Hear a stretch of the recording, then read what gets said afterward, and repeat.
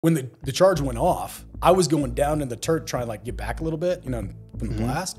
And it went off right as I was coming down, right like in the opening of the hatch. So it went off and it snapped my head back. My head cracked off the turret in that hole.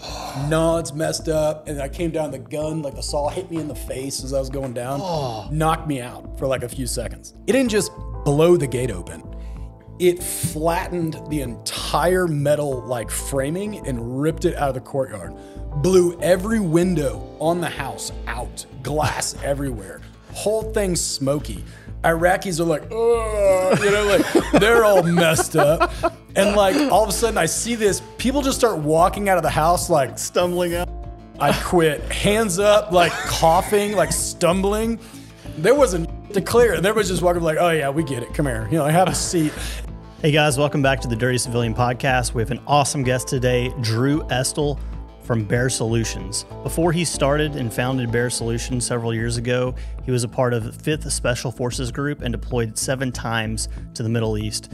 Uh, this podcast is full of wild stories, uh, also his life story, which to our knowledge is the first time has ever been shared on camera. Uh, we also get into the training side of what he does and the cadre and team that he's built to help citizens become more prepared and more proficient. Drew Estell, thank you for being here.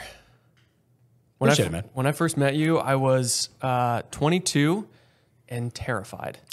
you have changed a lot over the past couple of years. Yeah, I've chilled out a little bit. We were at the uh, the Loopold Range in Oregon. You were terrified of Drew? Are you kidding? Yeah, yeah. You're you you had that. Uh, I don't want to call it a resting bitch face, but you had that resting. Bitch um, face. I can I can kill you, and everyone here knows it. Uh, He but makes no, me feel safe. Well, I'm glad that, that works for one of us. No, but then I got to know you, and uh, you have some. You do have some good qualities. That's the I'm nicest, gonna take that as a compliment. that's the nicest insult I've ever heard. Oh, that was a well, good one. I Yeah. mean it seriously. No. but really, thank you for being here. Yeah, it's uh, it's been it's been good getting to know you, and I look forward to getting to know you over this podcast more too. Absolutely, man. I appreciate you guys letting me come out. So I've known you guys for a long time, and uh, the class we did in Shelton, Washington, That's came out right. to that too. Yeah. that was a cold day. It was very cold. that was too cold. That was the coldest I've ever been on a range. Hard to way. focus. Yeah, yeah, it was. Certainly. It was a good time. It was. So Well, where are you from? Yeah, so originally uh, I grew up in Houston, Texas. Uh, outside of Houston, a place called Spring. Uh, so it's on the northwest side up there. Um, grew up there, mom, dad, uh, little brother who's nine years younger than me. He's a stud, by the way. Like he's uh, living in Cleveland now. Uh, really good dude. So grew up there, normal Texas kind of upbringing. You, you play football. I don't know if you knew that about Texas, but you grow up and you play football. Like that's it. And if you're not good at football, you play baseball, right? So all the baseball players out there are gonna love that. Um, I can't. I, I respect baseball. Dumb sport. So I'm kidding. I'm kidding. So uh, yeah, played football, did that, and then uh, kind of went to college a few times. You could say that. hold, hold, hold on, hold on.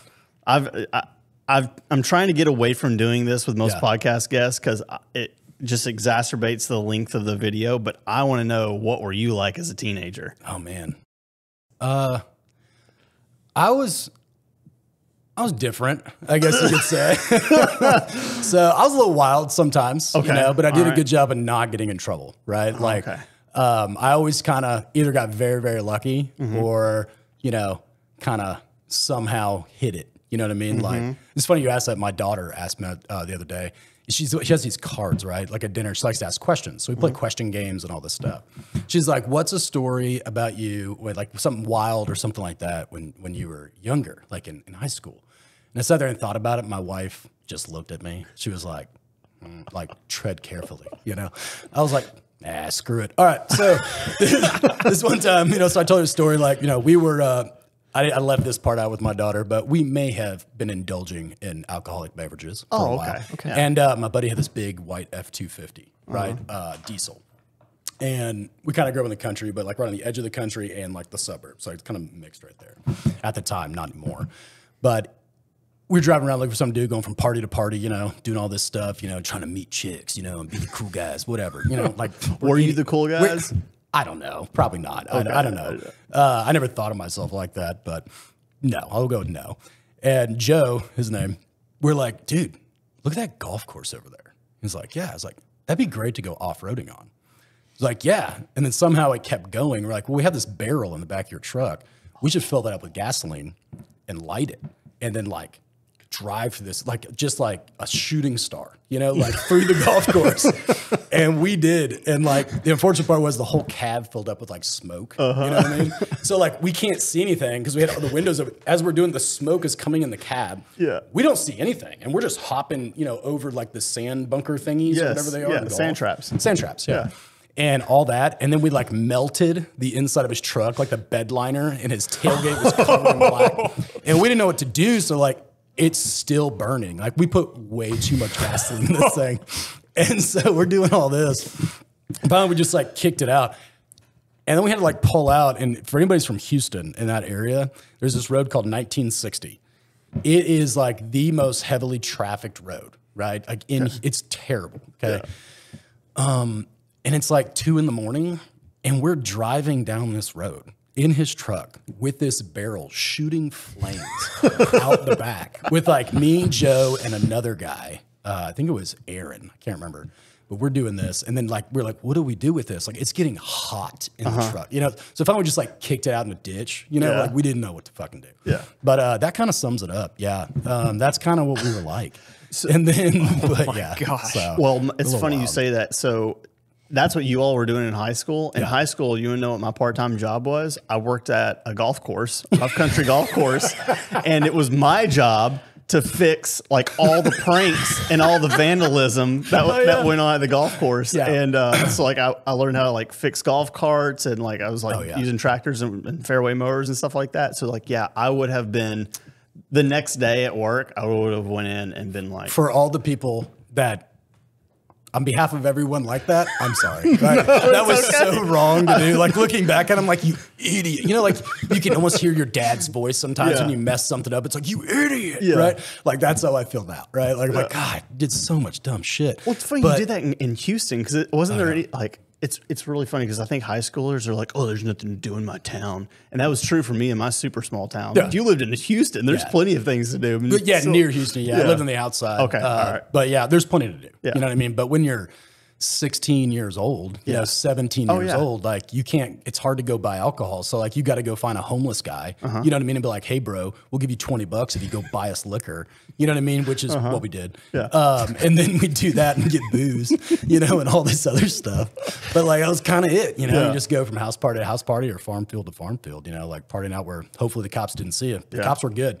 They had also the sheriffs in Harris County and Montgomery County, especially Harris, they were really smart and they had off-road trucks and they figured out all our little places. They were cool. They'd be like, "Oh, you know, guys, you dumbasses, like poured out." We're like, "Yes, Yes. officer, we're never disrespectful to a cop." Uh-huh. Because I don't know, it's not like today. Like they didn't have body cameras back then. They're Mm-hmm. Like, oh, he fell multiple times against you know the bumper of his truck. You know, like, and they knew all our parents. You know what I mean? Like Uh-huh. Yeah. my dad was a fireman for a while. He's like captain. So like if I screwed up and the constables caught me, oh man, dude, he's gonna call my dad right then and there. Yeah. And I was dead.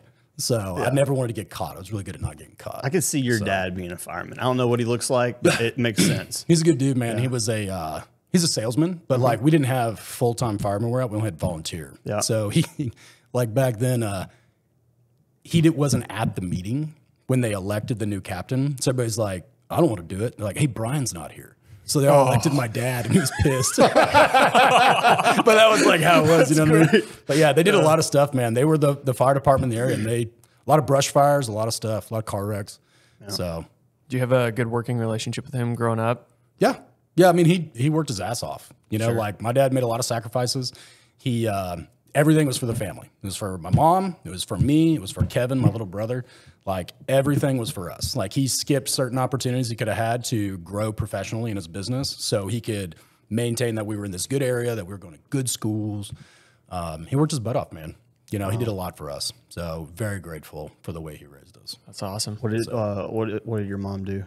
My mom was a secretary. Okay. Yeah, I'm uh I'm a lot like my mom. Like my dad, but I'm a lot like my mom. My mom's How so? hilarious. right? okay. Like she's well, I'm not saying I'm she's just she's just funny, right? She just doesn't give a shit. Like she cracks jokes. She thinks things that other people don't think are funny. She thinks are funny. Oh, right? yes. Like she can she can laugh about stuff. Like I don't know how to put it. like I'll be like oh like joking be like oh you bitch you know to my mom and Yeah. she'll be like she's like I'll beat your butt you know and she'll like she'll like come up and like she'll headbutt or something like that or, yeah. she's She can very give it back playful, you know, too. then I laugh and she laughs Yeah. she's very cool she's like that Gotcha. so she's a good lady I was pretty fortunate man so I had good parents It's good. But So so you went from high school to directly to college, or what? What was the what was the path? So I went from high school. Um, actually, yeah. So after high school, I went to a school in Ohio Mm-hmm. uh, to play football and lacrosse. I played football and lacrosse. That was like my big sport. I can see Of that. course. Yeah, I love Yeah. lacrosse. Love it. My little brother played lacrosse. Um, so I went there to play. And then they dropped the lacrosse program like two weeks before I showed up. I don't know. To Really? Some, you know, title, not whatever, you know, which, okay, cool. But like, add sports, don't take away kind of deal. Yeah. Well, they probably didn't have enough women's sports, so they had to take. Yeah. That's literally what they did at my college. They would take Yeah, away men's thing. sports so Yeah. they could add women's sports. Yeah, which like- I'm all about, dude. Add women's sports, but like, we got people showing. You could have told us two weeks before school. Exactly. You know what I mean? I could have made a better decision. So uh, went there to play football and lacrosse. It's called Marietta College. It's in Ohio, around the border of West Virginia. Um, and I looked at some other schools where I could play only football or only lacrosse that were bigger schools. But this, this and one other school is the only one that only played two sports. So went there. They dropped the program. I played football there for a little bit, uh, just D three school, and then I transferred to Texas State University. It used to be called Southwest Texas. So I transferred to Texas State to play football uh, to go there, which is like it's called Division One Double A. Now it's like football championship series or something. But I ended up getting hurt real bad. Like I broke my back and like messed up and a bunch of concussions. And the doctor was like, "Dude, you don't want to play football anymore." wait, how did that happen? How did you break Playing your back? sports, like squatting. I used Yeah. to work out hard. Like I used to squat like a Are you serious? Like- I don't know about that. Yeah, like I, I could squat a lot of weight, but I was really imbalanced. So I couldn't deadlift a whole lot, but I mm. could squat. I think my most I ever squatted when I was a freshman in college was six ten or six twenty. It was low sixes, just over six hundred pounds. Yeah, it was ugly, but I did it. You know what I mean? So that's probably of you back then. I think so somewhere. You should hook us up. Yeah, I don't know. They're probably in a box somewhere. You know, my mom, my parents like storage space or Kept something everything. like that. But uh, yeah, that's probably how I broke my back. Uh, was squatting way too much for my size and weight. So. So did you stop lifting heavy, or did you stop doing sports, or Uh, yeah, so I went to Texas State, but I didn't play football anymore. So I joined a fraternity. Uh, that was interesting. Which one? Uh, it was called so. Again, I got in trouble. Uh, so they actually wouldn't let me sign the little thing at the end. They were like, "Dude, you can't even like sign it. Your grades are so bad." I'm like, "What are you talking about? Like, you have a zero zero. yeah. And they're like, well, I was like, "Correction, I have a zero point one GPA." Correction. And then I got uh, in trouble because I got a big fight. So I got my, I, anyway, blood, all this stuff with this dude who was way bigger than me, and I have a smart mouth, and I got, I got popped for it. Uh, but then the dean, I got put in probation. The second semester, I did just as bad. Then the dean brought me back in the office, like, "You're kicking you out of school." I was like, "I think I'm going to join the army." He's like, and he, the dean was like, of Texas State was like, I think that's a great idea. and he was like, let me like, let's look at recruiters. He's like, you need to get the hell out of like college. Yes. Go do something. I was like, yeah, I think that's a good idea. So then I, so after that, I left there and then I went to a community college in Houston where I was working like driving a tractor for a little bit, was doing this, uh, like cutting grass, you know, and then cut people's property. I worked at Hollister of all places. oh, so did I, bro. Yeah, you man. Were, hey, were You you, know a model? What? That was no, the job absolutely title. not. No, the reason the- I worked there, no, I wasn't a model. I was just on the floor. Well, that's the job title Is of it? floor workers at Really? Hollister is model. oh, okay. yes. So at this place, What year was this? I don't know, 2005, I think. Yeah, 2005. Dude, So, in the that's Woodlands, the Texas. same year that I worked at Hollister. Oh, dude. Hey guys, the rest of the team here at DC, they love to make fun of me because I'm terrible about eating. I forget all about it. I get so busy in the work, so busy in the edit, so busy tinkering with gear and new things.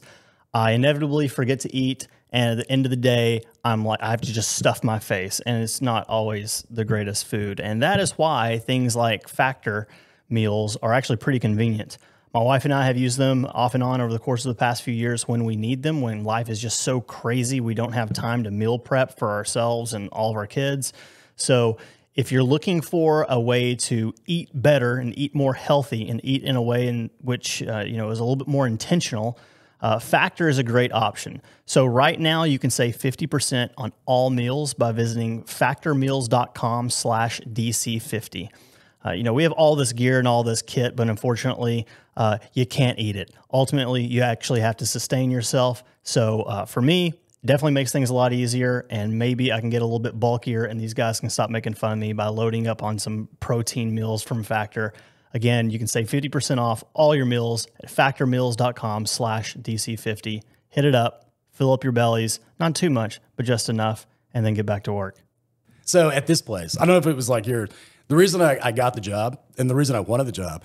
There was a hundred and like something employees. Most of uh-huh. them just come in seasonally to stand in front of the store, right? Uh-huh. So I went in and I'm talking to this dude. He's like the only guy there, right? There's like two guys. And this the guy was like the manager. Mm-hmm. I'm looking at him like, hey man, can I have a job? He's like, I don't know. I'll give you an interview. I was like, all right. I go, do guys work here? And He's like, nah. He goes, we have seven males that work here and like a hundred females. Yes. You know, and some of them are, you know, full time, some are like part time, only once in a while, just for the discount. But I was like, oh, I want to work here now. Yeah, yeah, so I the- talked to him and I got a job. Same, dude. Same. I was like, I was like, discount, and uh, this is how bad. This is how you know you're getting into a terrible job. Is that they do group interviews. yes, and that's that So was it. I Yeah, we went out. I went to a group interview with this girl I liked at the time, and we both got jobs there for like Christmas Mm-hmm. or whatever. And then it was like, I'm the only dude here. Oh yeah, This is great. yeah. It was. Yeah. It was awesome because they'd have parties and stuff, and the girl's like, "Hey, do you want to go to a party?" I'm like, "Oh yeah." I don't have. I'm not good at talking to like women and stuff. You know. Yeah. I'm like, I just know if I put myself in this situation, Uh-huh. eventually I'll like meet some chicks, right? You know, that was like my mentality. The biggest But- problem for me was I was I was 19 and all the girls coming into the store were like not old enough Yeah. and it was super awkward Yeah. and I was basically told like cuz I, I I would I would Oh, yeah. be like dismissive of them, you know. And uh them like my boss is basically just like, "Hey, you need to be more friendly to the younger girls." And I'm just like, I feel weird about that. what? Yeah. Yeah. And I was, and he was like, yeah, you need to like just flirt it up some. I'm like, I'm not doing that. Yeah, I And I, I've been, I just never showed back up. I, I think I worked like two weeks and then I was like, no, dude. It was a weird place to work. It was it was a very weird place to work, and I didn't like it. Yeah. You know what I mean? But like, headaches all the time from all the Oh fumes. yeah, they put the, the sprays and shit. I'm like, dude, it was so bad. But I don't know. I paid money. You know, I got money, and then uh, and then after, so when I moved back there, I went to a community college at that time in, in Texas, and then uh, then I got kicked out of the community college, and I was like, I should probably legitimately join the army now. So I'd always wanted to be in the army. Why did you always want to be in the army? My uncle was a Green Beret Okay. in Vietnam. Yeah. So like growing up, I had his Green Beret, and Wow. so I want to be a Green Beret. I had like the SF SERE, you know, field manual, all this stuff he sent me. I had his old uniforms, and like the whole time I went through the Q course, I had his Green Beret. And like when I graduated, he was like, "You got your own?" I'm like, "Yeah." He's like, "Then send me mine back, damn it." I was like, "Yes, sir." Sure I enough. got it. Yeah. So he's a lawyer now, big time. You know, he was. You know, he retired, but uh, really cool dude. Um, but yeah, I uh, had his Green Beret the whole time until I graduated. So Were you into all of the, you know, all of that kind of lifestyle before? Did you just, did you just want to be a Green Beret or were you into shooting and war and all this stuff? Like, all of it, right? Like I never really shot guns until I joined the military. You know, like we just wasn't it wasn't a thing we did in my family. No, it was always sports, sports, sports, sports. You know, I wrestled for a year. I played lacrosse and football. You know, all through high school and all that. Um, it was sports, workout and sports. Excuse me. Um, but like growing up, my buddy Kirk, uh, he's a third group dude now. We grew up, he ended up playing football and A and M and all this other stuff, and I ended up joining the army before him. But like growing up, we would dress up like Navy SEALs and Green Berets, you know, and, and recon Marines and like all this stuff. You know, like we would our like fun was, can we go to the army surplus store?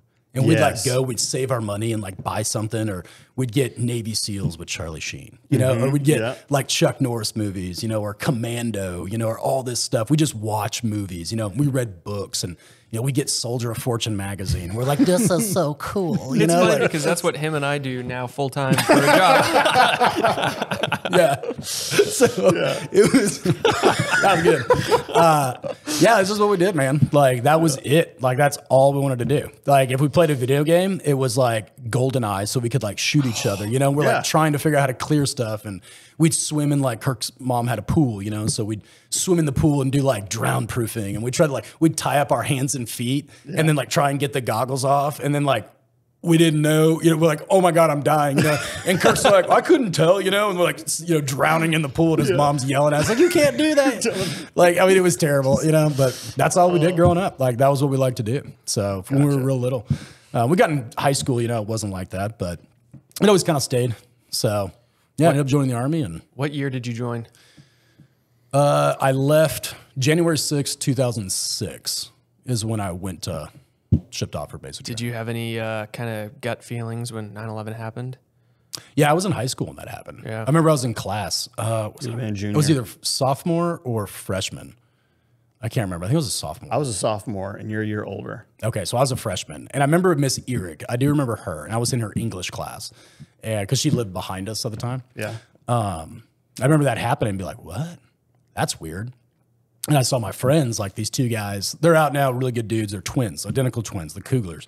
They ended up going joining the army at the same time, and they both like, what's it, Ramadi or Mo, whatever, Mosul, something like that. Like they were there for all that, dude. Wow. They were second ID, I think, both of them, or something. But they did that. One of them got hurt pretty good, uh, Purple Heart and all that. But then they ended up getting out they did so i saw guys going and doing shit but i was like well i'm gonna go to i'm gonna go play football you know and and my dad was always like go to college just before you do any of that just go to college first you know get a little life experience i'm like all right cool and then I was like, "Hey, Dad, this didn't work out. You know, this, this college thing. Like, if I don't have sports and like the the coaches to be like, sit down and do your studies. You know what I mean? Like, uh-huh. I'm not gonna do it. So I don't care. So I think I was an English major at one point, which was hilarious, right? Like, I didn't. I just checked something. I was like, ah, English. I was like, that whatever, dude. I don't know. Like, is is there like working out? Is that a fucking yeah. like?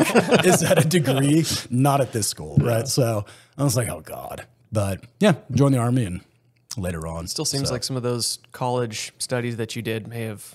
I don't know. Maybe you went back to school later on. I'm sure we'll get to that. But like you've Yeah. written books now, and you've Yeah. you're very good with words and teaching and education and everything. So, do you feel like during that time period where you bounced around to different colleges and you were hoping to play sports but didn't really? Did Yeah. you did you get some life experience from that? I got what not to do. Okay. Um, I, I, yeah. So I worked on Sixth Street in Austin for a while when I was at Texas State. And I was a security manager. I was 20 years old and I was a security manager at a bar. And so we'd get contracted by the Real World, the TV show.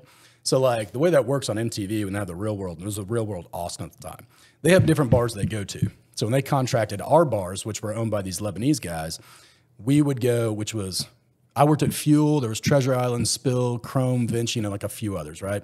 So when they'd go there, somehow I got like, you're the dude for the real world. I was like, what?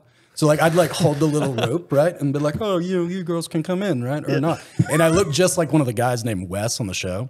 So like all the little drama behind the scenes, I got to see some of that, you know. Um, but it was interesting, right? So that was basically my college experience, right? So when you ask like doing all this stuff, did I learn anything from college? Not a damn thing. Not one thing did I pick up from college, you know, to help prepare me to write the book or teach classes or the business stuff we're doing now. Honestly, all that came from the military. Every single bit of it came from the military. Hmm. So, yeah. You could have stayed all four years and still not have learned that stuff. Absolutely. Like I so I went to college later, like online degree, right? But I mm-hmm. do that when I was in Iraq. Then I actually enjoyed it because I'm like self-teaching. I don't want to listen to some schmuck sit up there and talk about stuff. Like I mean, there's great professor professors, but like there's also not great professors. You know what I mean? Yes. So Well, and people learn different ways too. yeah, I learned on my own really well. Yeah. So So go ahead, Drew. So you so you joined the army. yeah. I'm sure you breezed through basic, Yeah. given I your mean, level of fitness. Um, yeah, yes and no. Like, Okay. I mean, everything, some things are harder for others. Like, I mean, looking around at some of the kids in our basic training, I was like, oh my God, like, really, dude? You know, like, Sure. Some kid pissed on himself because he was scared. It's like, dude, it's basic training, bud. Like, we're in basic training, you know, like, it's not, they, that's just the way they talk. Imagine they all talk like Samuel L. Jackson, right? Yeah. Like, that's just how it is. you know, like, it's not a big deal. Uh, but I was never like a long distance runner. Mm-hmm. Like, I can sprint. Well, we got to go over a mile, buddy. You know what I mean? So that I had to kind of get my body accustomed to that. Sure. But that was about it. Did you appreciate discipline? Yeah, I like structure, right? I mean, some of it's dumb, but it's supposed to be. You know what I mean? So it's just the way it's designed. But yeah, I like structure and the routine. Like I get a lot from that. I'm very uh, productive in those kind of situations. Makes sense. So how did you go from joining to what we all know you as, which is Drew Estell, the Green Beret. Okay. So when I first joined, um, it's funny because I was doing I was doing MMA at the time at a gym in Houston. Uh, the guy's name was Eve Edwards. It was called Revolution Dojo. I don't think it's still around, but it might be. So I was driving like down there. so I talked to a recruiter like, dude, I wanna I wanna join the army. I wanna be at SF. I heard this is 18 X-ray contract. He's like, absolutely, we'll get it for you. We'll kind of find out they can't give it to you one, I like twisted and torqued my knee really bad, like right before. So he's like, mm-hmm. you got to stop doing that. So I had to like take off the crutches and like go get my physical exam. And they were like, no, you had this previous shoulder, shoulder surgery from college where you were playing football. Like that automatically disqualifies you for anything airborne. I was like, what? Wow. No. Well, I'm not joining. So finally they convinced me like, hey man, you can go like 11, be infantry, and then you can go later you know so mm-hmm. I was like well we'll find out so that's what i did So you had all these pre-existing injuries. You broke your back, mess up your shoulder. yeah Did I, you have tw- I didn't break my back fully until later but like i tweaked it really bad to where it was like the spine was jacked up Yeah. you know what i mean Gotcha. so So you entered with all of that like Oh, yeah. already built up. yeah the only thing i could not hide and lie about was the shoulder because there was a scar right here right where they did like that so i tried to and the doc was like what is that scar i was like oh i don't i just cut myself sh-, you know like shaving yeah. like he was like not dumbass like i know what that is So wait, can someone actually come in off the streets and go directly to Green Beret selection? You Or- could. You still have to do a lot of things first. Okay. But you have a spot. So what they'll do is say, hey, man, we'll guarantee you a spot in uh, S- SFAS, like selection. But you still got to go to basic training. You still got to go to airborne school. You still have to go to SOPC 1 and SOPC, and like these prep courses. And if you make it through all that, and if you're still around, we'll send you to selection. Doesn't mean you're getting selected. But like, so for me, they wouldn't give me that contract. well, in basic training, I was actually a Mortarman 11 Charlie, which I was super pissed about. I was like, what is that? They're like, I'm supposed to be an infantry guy. So like the SF recruiter would come around and be like, hey, does anybody want to go? And like he, he talked to a few guys. Uh, one of my buddies, good friends for a long time, was there too. And he ended up going to third group and all this stuff. Incredible, like genius dude, right? So he ended up picking up the contract that way. Well, I wasn't around. I was in the mortar square. So I just called this dude every day, every day. And he finally was like, You're calling me again? I was like, Yes, Master Sergeant. You know, you're not even supposed to call him that. I didn't know. And I'm like, Yes, uh, I'd really like a contract. And he's like, He's like, Fuck it. If you can be down here in 20 minutes, I'll give you one. I was like, what building number, you know? And then I went and told one of the drill sergeants who hated me, right? He'd always give me shit. I was like, hey, Master Sergeant so-and-so said you need to drive me down there right now. Oh, my And he was like, he's like, motherfucker, fuck you. I ain't doing shit for you. I was like, he said you. I don't know how he knows your name. And he was like, he knows my name. And so he like drove me down there.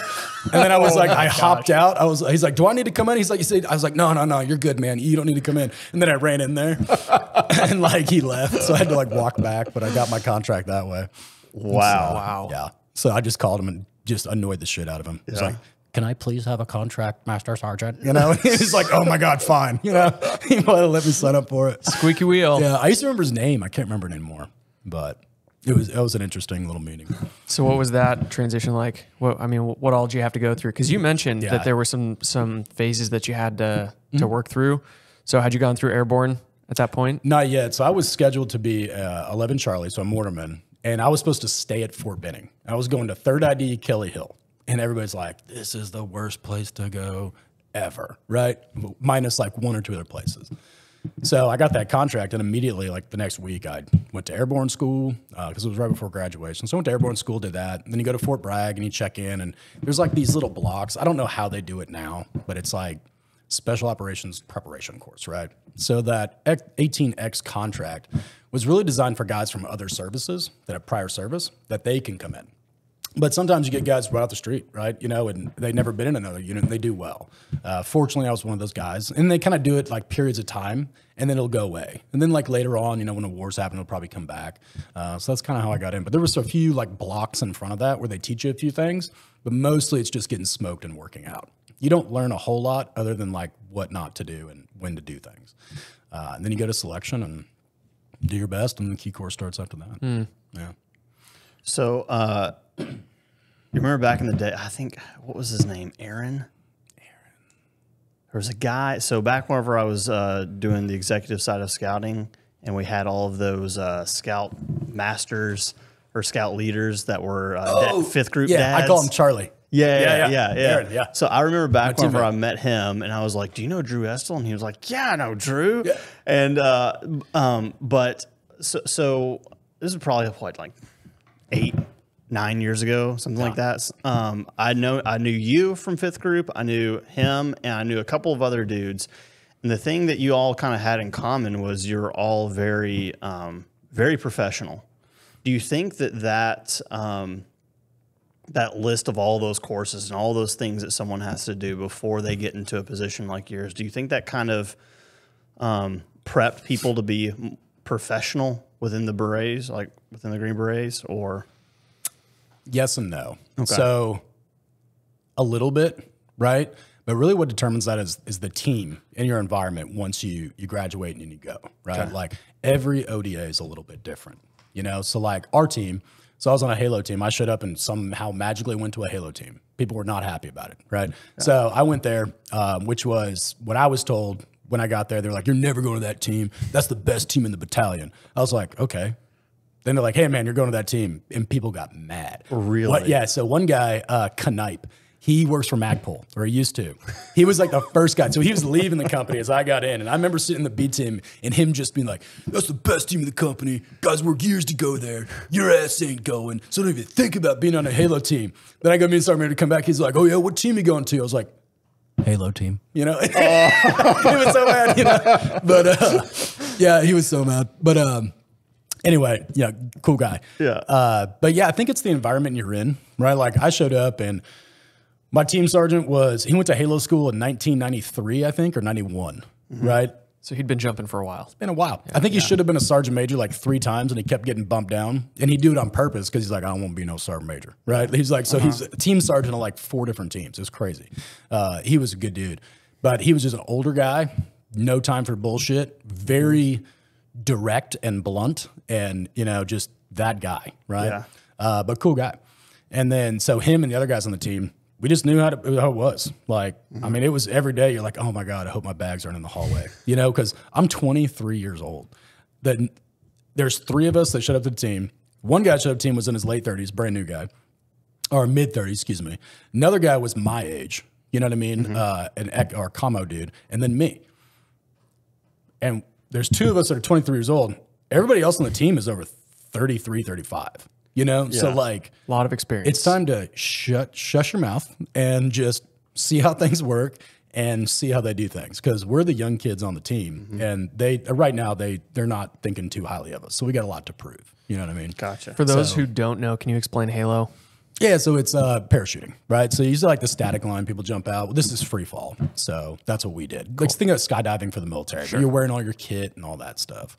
Um, so yeah did that for a while. So you get on into a Halo team, Mm-hmm.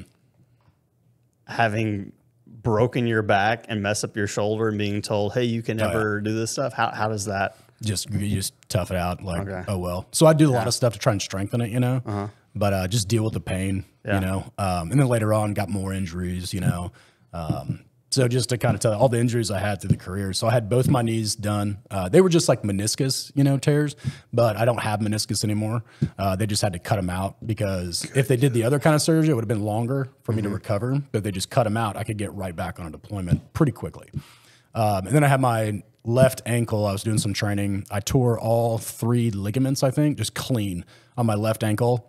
And so I had surgery on that to repair them. And then the first run, after like six months or eight months, like, all right, you can go for a light run. It's like, sure. So I went to Rotary Park in Clarksville, got half a mile in, rolled my ankle, tore them again. Swelled up like a grapefruit. I was like, oh my God. You know, like, Yeah. of course. Um, then I ended up breaking my neck uh, pretty good. So I herniated three discs and it was cracked and it was pushing on spinal cord. So this, like my left hand, is permanently like it atrophied because it was a year before they realized it. Even though the original X-rays and MRIs were like, "Oh, that's clearly messed up. You need surgery now." Wow. This one guy was like, "Yeah, you're fine." I was like, "Oh, geez. well." Come to find out, like, uh, hey man, is it weird to like uh, shit your pants? They were like, what? And like, I'm dropping things with my left hand, and like, it just seizes up, and like, uh, you know, like weird stuff's happening. And then they looked at it was like, stop it, because I'm going to jujitsu, I'm going to combatives, I'm rolling like three days a week, and they were like, stop everything right now. You need like right now surgery. This happened over a year ago. This could be permanent. So we got like a like what went to Walter Reed, and we got surgery within like two weeks of finding that out, or maybe three Wow. weeks. Yeah, it was like a rush thing. They're like, we don't want this to go any longer. So they ended up fusing my neck. What caused your your neck to be so damaged? I think it was it was already kind of worn out from football and sports, and then uh, you know just little shit. But I was at a, a course in the military where it's called Sephardic, so it's like a, a Salter school, right? And oh, it's so cool! It's such a great school. Um, pretty long, but we are doing like combatives training, and everybody's going light. It's like a head control drill. Everybody's going nice and light, you know, not trying to hurt, but doing the drill properly. And this one dipshit, I'll never forget that fat piece of shit from first group. Um, this curly haired little fuck, like everyone hated him. So, like, he's the I can last. picture him dude. right now. Oh yeah, he, uh, yeah, like, fuck that guy. So anyway, we we're sitting there and we're going through these like rounds as the last round. And he's like, yeah, coach, like, yep, go ahead. He grabs on, you know, back of the head here. And we're just supposed to like side, side, control a little bit and then work through. And he buzz goes off and he just drops to his knees and cranks my neck straight down. Oh. Yeah. So like I couldn't like they were mm. like, hey, Batman. So I'm like, you know, doing this, like turning and looking. Like I couldn't move my neck. It was pretty funny looking back at it, right? But I mean, I couldn't take some of the pills because we're shooting guns during the day. So like as soon as I got done, I'd get like a shot and I'd get some pills, and but I couldn't take anything during the day because we don't want to do that because there's guns and live ammo Right. and demo and all this other stuff involved. So My we, uh, gosh, dude. yeah, it sucked. So And was that just like exacerbated by all the deployments? yeah, and probably gear, yeah. You know, just little shit. Yeah. You know, just and it's over time. You know, bad posture. You know, stuff like that. yeah. um, Have you ever looked this guy up? No, I don't remember his name. Good answer. Like, I'm pretty Probably sure. good answer. I'm pretty sure he, he's one of those guys that like probably didn't do so hot in his. You know what I mean? Like somehow he was there, or whatever. Mm-hmm. Yeah. I don't know. Maybe he's a great guy. Maybe he's a good dude. Maybe just a weirdo and nobody liked him there. But I doubt it. Yeah. Uh, I'm still. I'm, you can tell I'm a little bitter about it. I don't blame you. yeah. Understandably. He might be a great dude. I don't know, but I don't like him. So Well, he, he probably stays up at night just Oh, thinking about how he's you know, all the people he's hurt. So, yeah. Just like you're a piece of crap. no. Hopefully. Uh, so, so, uh, so you get through selection. How was that for you? It's good. You know, I'm not gonna say it was easy. It's not. Sure. That shit's hard. The cool thing about our selection was they were starting MARSOC at the same time. So we had a lot of the Marines, like these officers, coming down to watch our and observe our selection. We actually had a few Marines go through our selection. So our selection was like it was a July August class, and it was the first one they'd done in a long time because of the heat. And there was only 200 people in it, and it was all combat arms and X-rays. Like that was it. That's all who was allowed in. Um, so it was like a test class. Um, So they had the Marine guys there and everything else, which was kind of neat. So we did that selection. It's not easy. Um, so I remember I was sitting there and like we couldn't do anything during the day, not all the time, but like most of our events were done at night because of the heat. But during the day, they have you doing dumb shit, so you're not sleeping, right? So you're just sitting there in the heat. And I remember I had this like migraine for like two or three days. You know, like everybody, everybody's hurting somehow. It's not a big deal. But like, I'm sitting there and I hear this guy come up and go, start saying something to me. And I'm leaning against a tree, not thinking. And he, he said, Oh, something, something, something. I can't remember what it was. Like, how's it going out here? You know, how's it working for you? Blah, blah. And I was like, I, like everybody else, bro. Like, pretty cool. Like, whatever. Not thinking. I hear, I was like, I know what that means. I fucked up. So I turn and look, and I see one of our cadre like sitting there, like the guys that like assess us, and he looks at my thing. It's like Ross number one two eight. It was one two eight or one two six. I still have my. He's like he like writes down on a book, and I was like fuck, and I look up. The guy talking to me is just this guy, Marine Corps, like perfect uniform. It was a colonel or a general or something. I can't remember because it's real small. But like he's just big smile, bright teeth, like ah, you know, great hair. And I was like, I go, fuck. And I stand up, I go, sir, I apologize. And he's like, oh, you're good, man. Sit down. And I look into, over his shoulders, the cadre, and he's just shaking his head no. Like that. oh my I'm like, great, I'm not getting I'm not getting selected now. Fuck. You know, I screwed up. But that was, it was cool seeing the Marines there. They're, uh, MARSOC's a really good unit.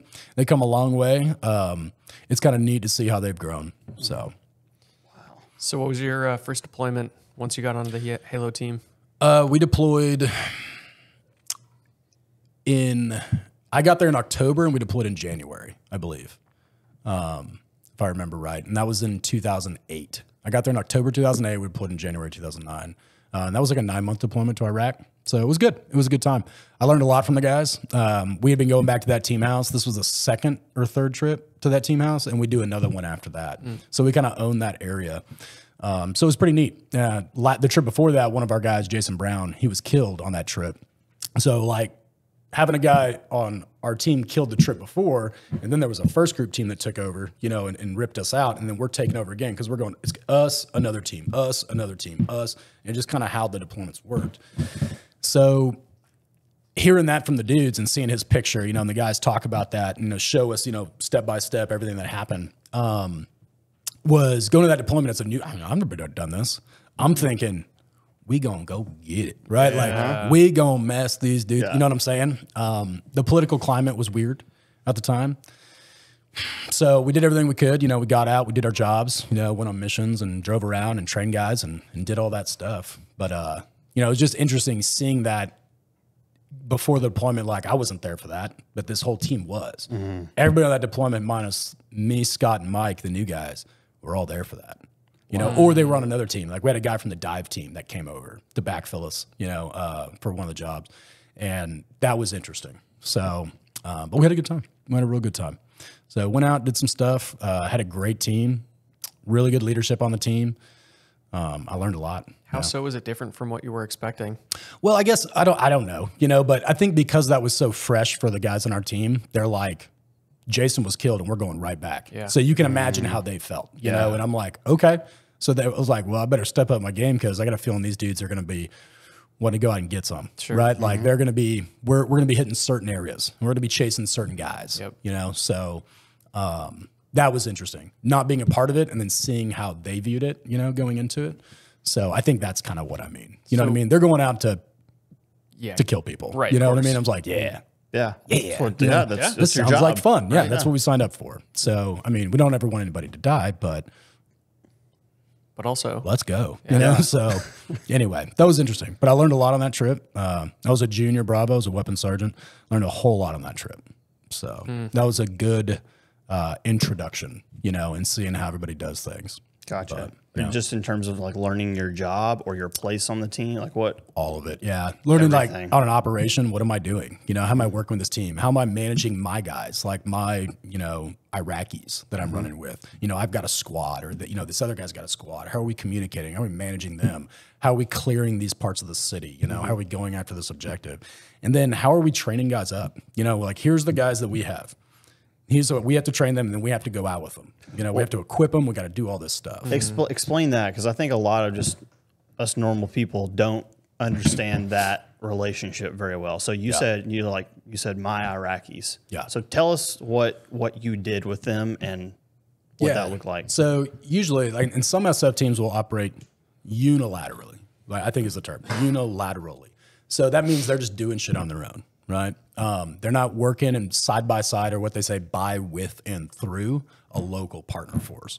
Uh, our team was. So we had an element of the Iraqi army in our area, and that was our like guys, right? So we trained them and we take them took them out on missions. So we'd train them, we'd do all this stuff, we'd brief them the mission, and then it was like, okay, you guys are in charge of this team that's gonna brief. You guys are in charge of cordon, you know what I mean, and, and securing the area, and you know all this different stuff.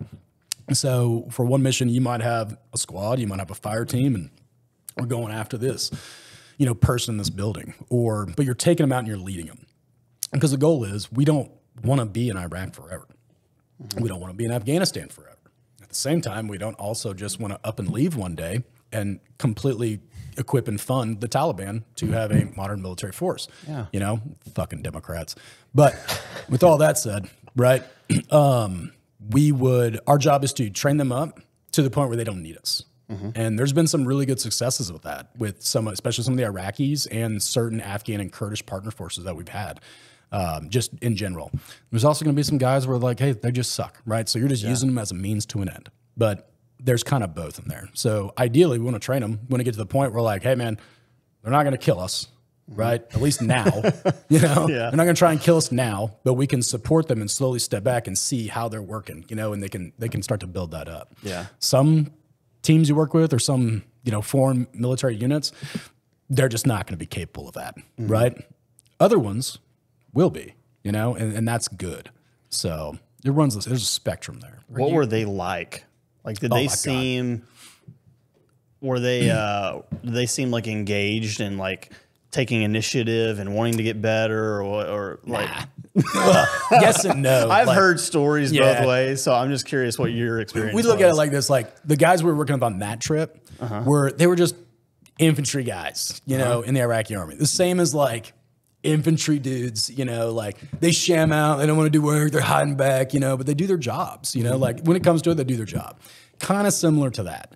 Um, I would say this, they're hilarious. They're just like us. You know, when we're trying to like be this and that and finally be like, hey man, if you guys do this right, I'm gonna go get a bunch of, you know, blonde, big titty women to come out here and, and they're just like, whoa, yeah. It's like, oh my God, they're just like us, dude.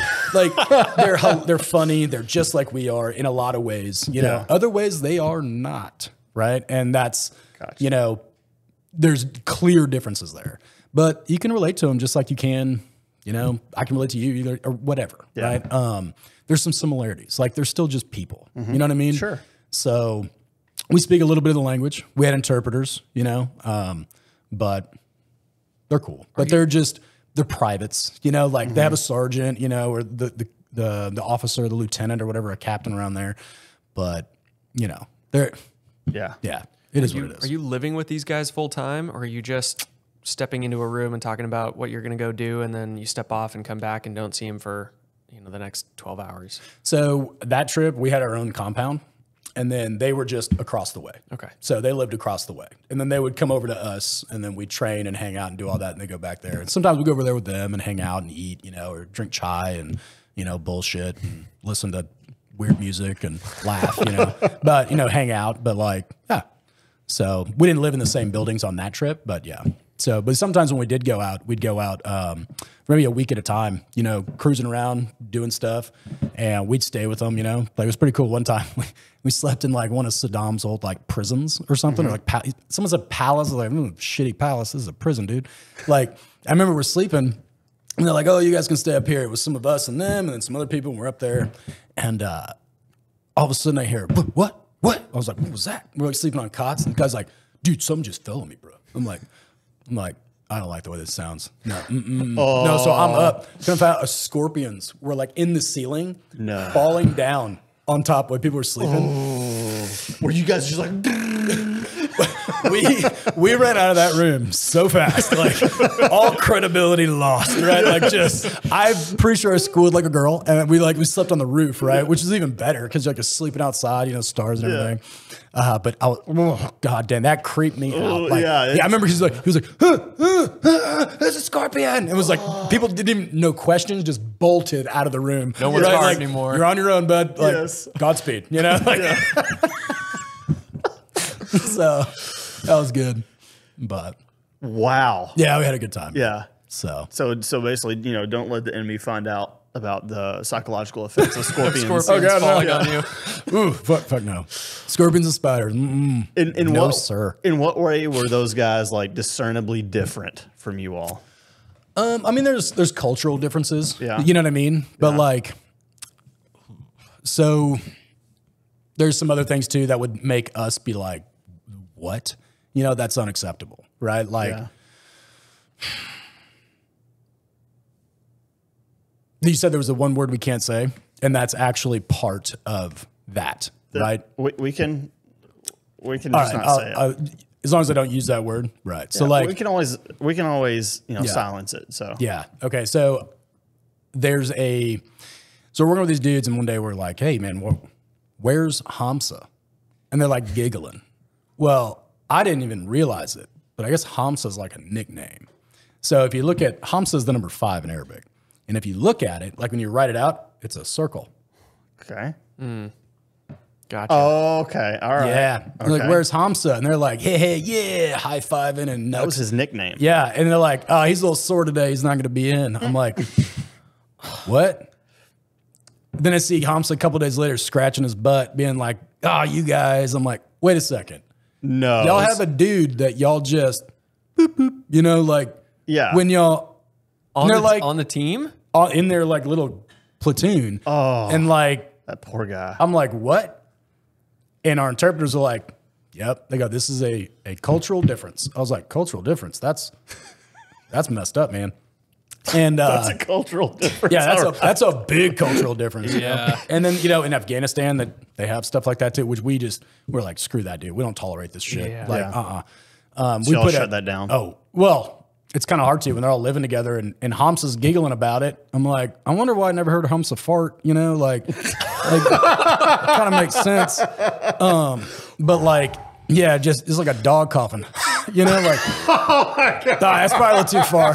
But like, and I, I, what if, what the hell are we gonna do about that? Yeah. And we are like, dude, that's fucked up. And like, like, hey man, you're not the first Americans to be pissed off about this stuff and whatever. like, yeah.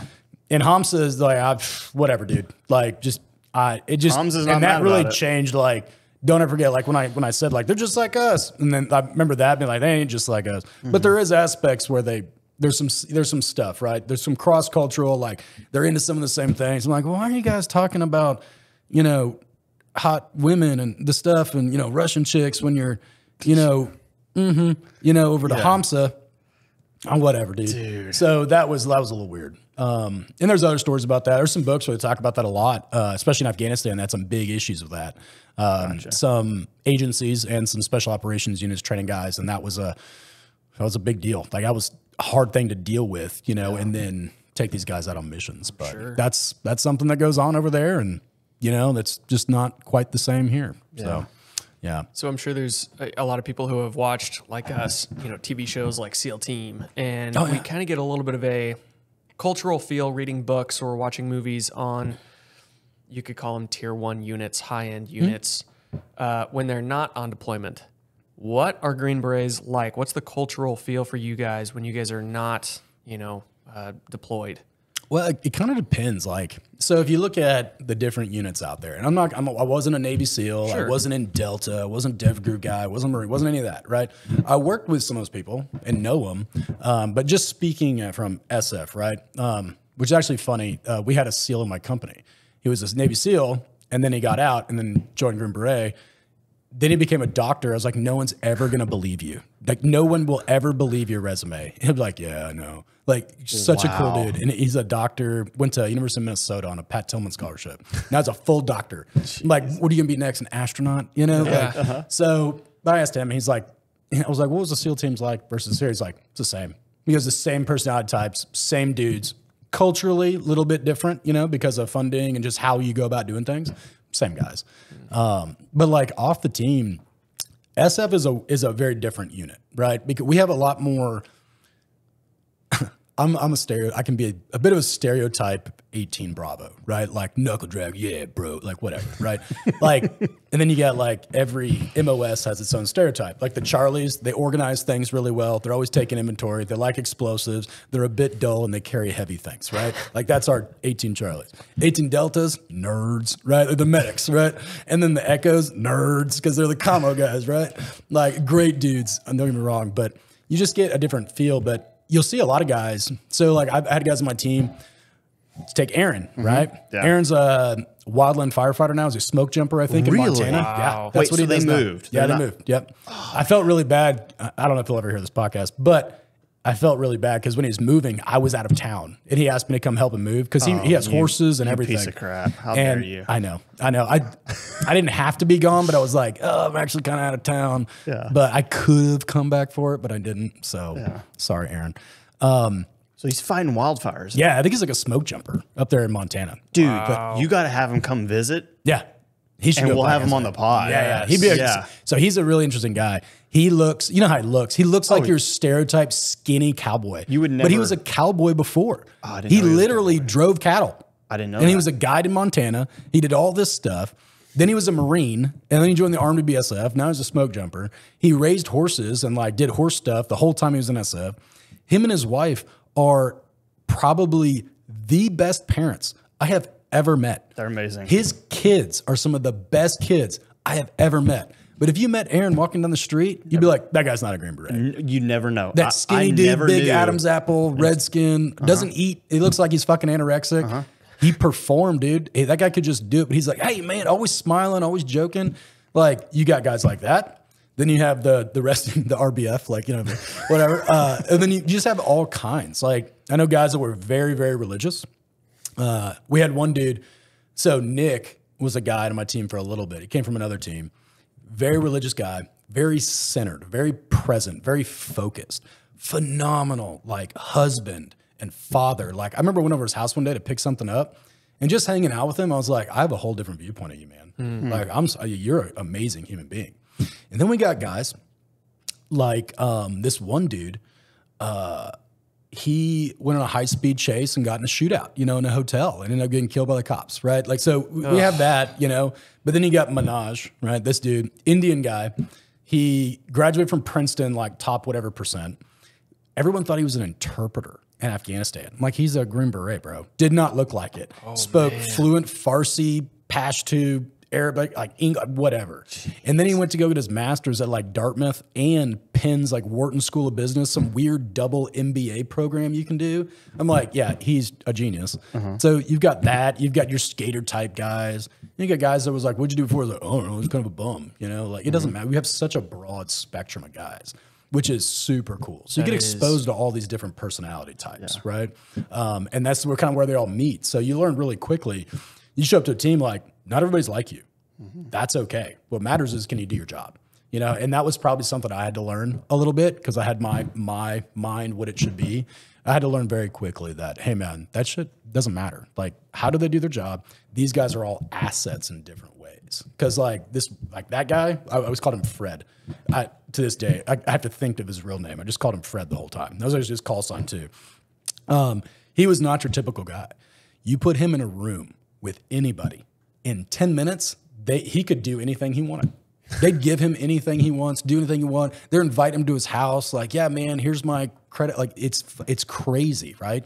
He was also really good tactically, and he'd get out there and fight too. But he was just that kind of dude. You need guys like that. You need guys like that, and then you need your meatheads, you know, and, and all, all of it. So there's a spectrum. So I think that was really cool seeing that uh, in the unit in fifth group. So As you guys know, Drew and I started Dirty Civilian this year, and along with that, we took a lot of financial risks. Our, our families and everyone that has been working with us has been investing into this company, and so far it's going really well.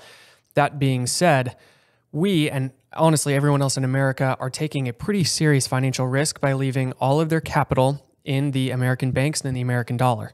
Inflation is growing worse and worse every day, and it's something that we have to pay attention to. So, here's an option for you. When it comes to protecting your IRA or 401k, trust the best. That's why my friends at Allegiance Gold have the highest ratings in the precious metals industry. They have a five star rating with TrustLink, a triple A rating with the Business Consumer Alliance, and an A plus rating with the Better Business Bureau. That's pretty impressive. So you guys can get up to $5,000 in free silver on a qualifying purchase when you visit protectwithdc.com. Another option is you can give them a phone call at 844 790 9191. You guys don't want to wait on this. You should be investing and diversifying some of your assets. So again, call 844 790 9191 and speak to one of their experts. Again, time is of the essence for all of us. Protect your future with Allegiance Gold. Visit protectwithdc.com or call 844 790 9191. So, at some point during that uh, that workup and and deploying, you went from being a new guy to to being on the team. And was there a was there a kind of a period where you felt like, okay, I belong here now, and I'm no longer the new guy, or is that really gradual? It's really gradual. I would say it takes you about three years, two to three years to start figuring things out and to feel comfortable. Um, once, because so on the team, like I was a Bravo, so I was a weapons guy. So I started as the junior Bravo. And then when your senior moves out, then you become the senior Bravo. Then you get a junior, right? And a guy comes in behind you. And then you can keep progressing. And sometimes guys go to other teams or they do different jobs or they go to different specialty companies. But I would say probably um, honestly, my first deployment, I just shut up and was like, just whatever I can think to do, and I'm just trying to do the right thing all the time, right? Like I'm, I'm learning a lot here because we had some incredibly experienced guys on that team, a lot of good guys to learn from. Uh, the second deployment to Iraq was, I felt a little more comfortable, you know, but I still got some stuff to learn. But now I'm starting to, because my senior became the Fox, so I became the senior. We got another guy, as junior. Um, so that was, you know, I still felt like a new guy, but I'm just new as a senior guy. Um, but honestly, it probably took me three years before I was like, okay, I feel solidified on this team, and I feel like I have a general idea of what's going on, and I feel like I can, you know, assert myself a little more, and I feel like the the, the guys above me, like the guy who became team sergeant after that was Doug, was such a good dude. If anybody knows, I'm gonna say his name, Doug Young. He lives in Richmond, Virginia. His wife's name's Ruda. If you see that motherfucker, please buy him a beer or take him fishing. Right? Like we miss Doug, and that asshole didn't even tell us he was leaving with some of the other teammates. We wanted to have like a big thing with him, uh, but we miss him a lot. He was a phenomenal, phenomenal person. I got to learn from. Wow. Really grateful. I was. He was the t- became the team sergeant, and I got to learn from him over the span of several years. Uh, there were a lot of moments where he was shaking his head. He was like, "You idiot!" I'm like, "I know. I'm so sorry, Doug."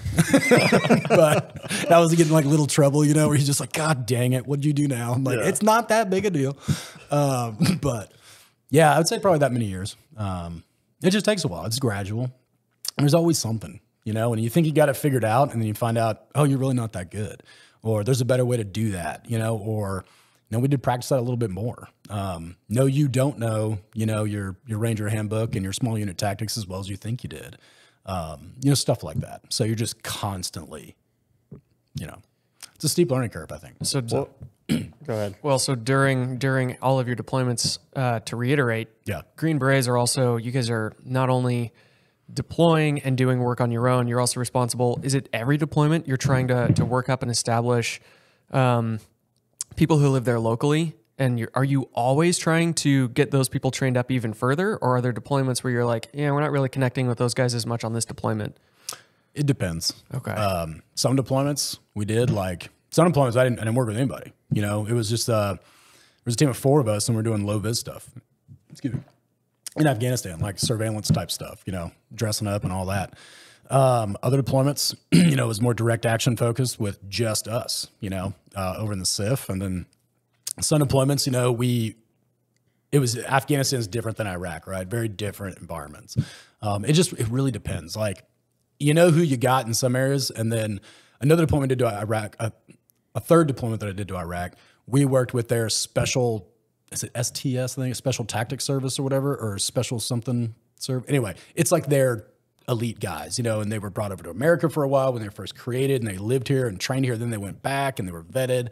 Um, it's like some of their special operations guys. So then we created other stuff and did this, but you're working with them. That's a totally different animal than working with you know, some privates in a, in a random Iraqi army unit, you know, that just happens to be all that's there in your area and you need them. So it just depends on who you're working with. You know, some guys are like, hey, man, this is good we're going to get them. Like, we're just trying not to get them killed, you know, like too much. I'm trying to keep them safe, but they still need to do their job um, and complete the mission. Then other guys are like, all right, this is a little different. We're going to, we're going to get after it a little bit more. And we can trust these guys to do certain things because a little bit smarter, a little more experienced, a little bit older, you know, and, and they just take it more serious. So it just depends, I guess. Yeah. What's um what's going on at home while you're uh, like I know you're married, you have a kid. Yeah. Um, at what point in all of this did you all meet? Is this later on, like multiple deployments in, or I met her, I met my wife after my first deployment when I was in Halo school, actually. Okay. So we're in Arizona. and on the weekends, all the instructors are like, get the hell out of Yuma, Arizona. Go to Phoenix or go to San Diego. And we were like, Phoenix or San Diego? We're like, dude, let's go to San Diego. Yeah. Like, that sounds way better.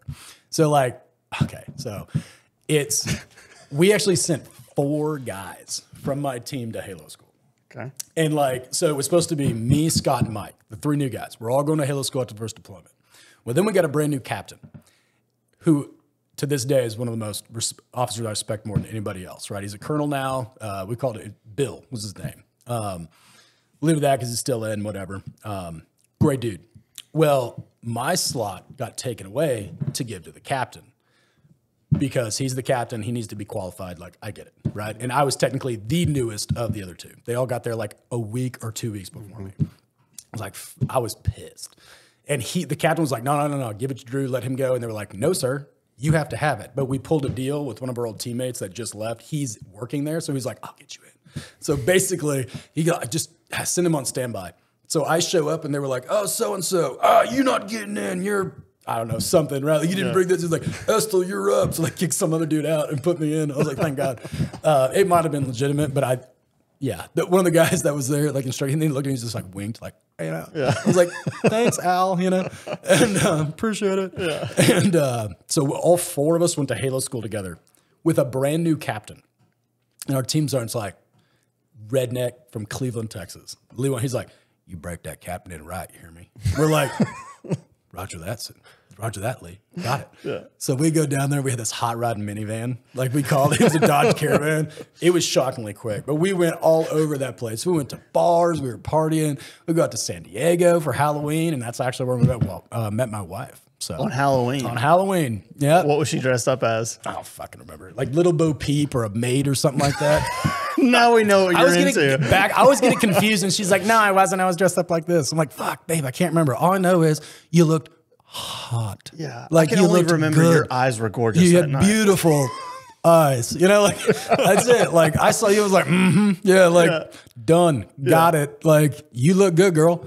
Yeah. So um, yeah, uh, met her, and then uh, yeah, I just kept going back to San Diego every weekend and like meeting her. It's funny because she was like, she's a very respectable woman, you know, and I mean, I, you know, um, and then she married. I, I was a little wild, yeah, and I was a little wild, and so I'm thinking like, yeah, I keep going out there, and you know, what up, girl? She's like, uh, no, that that's not how this works. Mm-hmm. Like, I'm like, well, what, what, what do you mean? Like, that's because we're gonna, you know, uh huh. She's like, mm, no, we're not. Like, Shit. Yeah. Are you, you one of them respectable ladies? You should have told her about all your great uh, quality traits. yeah, yeah. you mentioned I, I might have, have a couple at the beginning of the episode.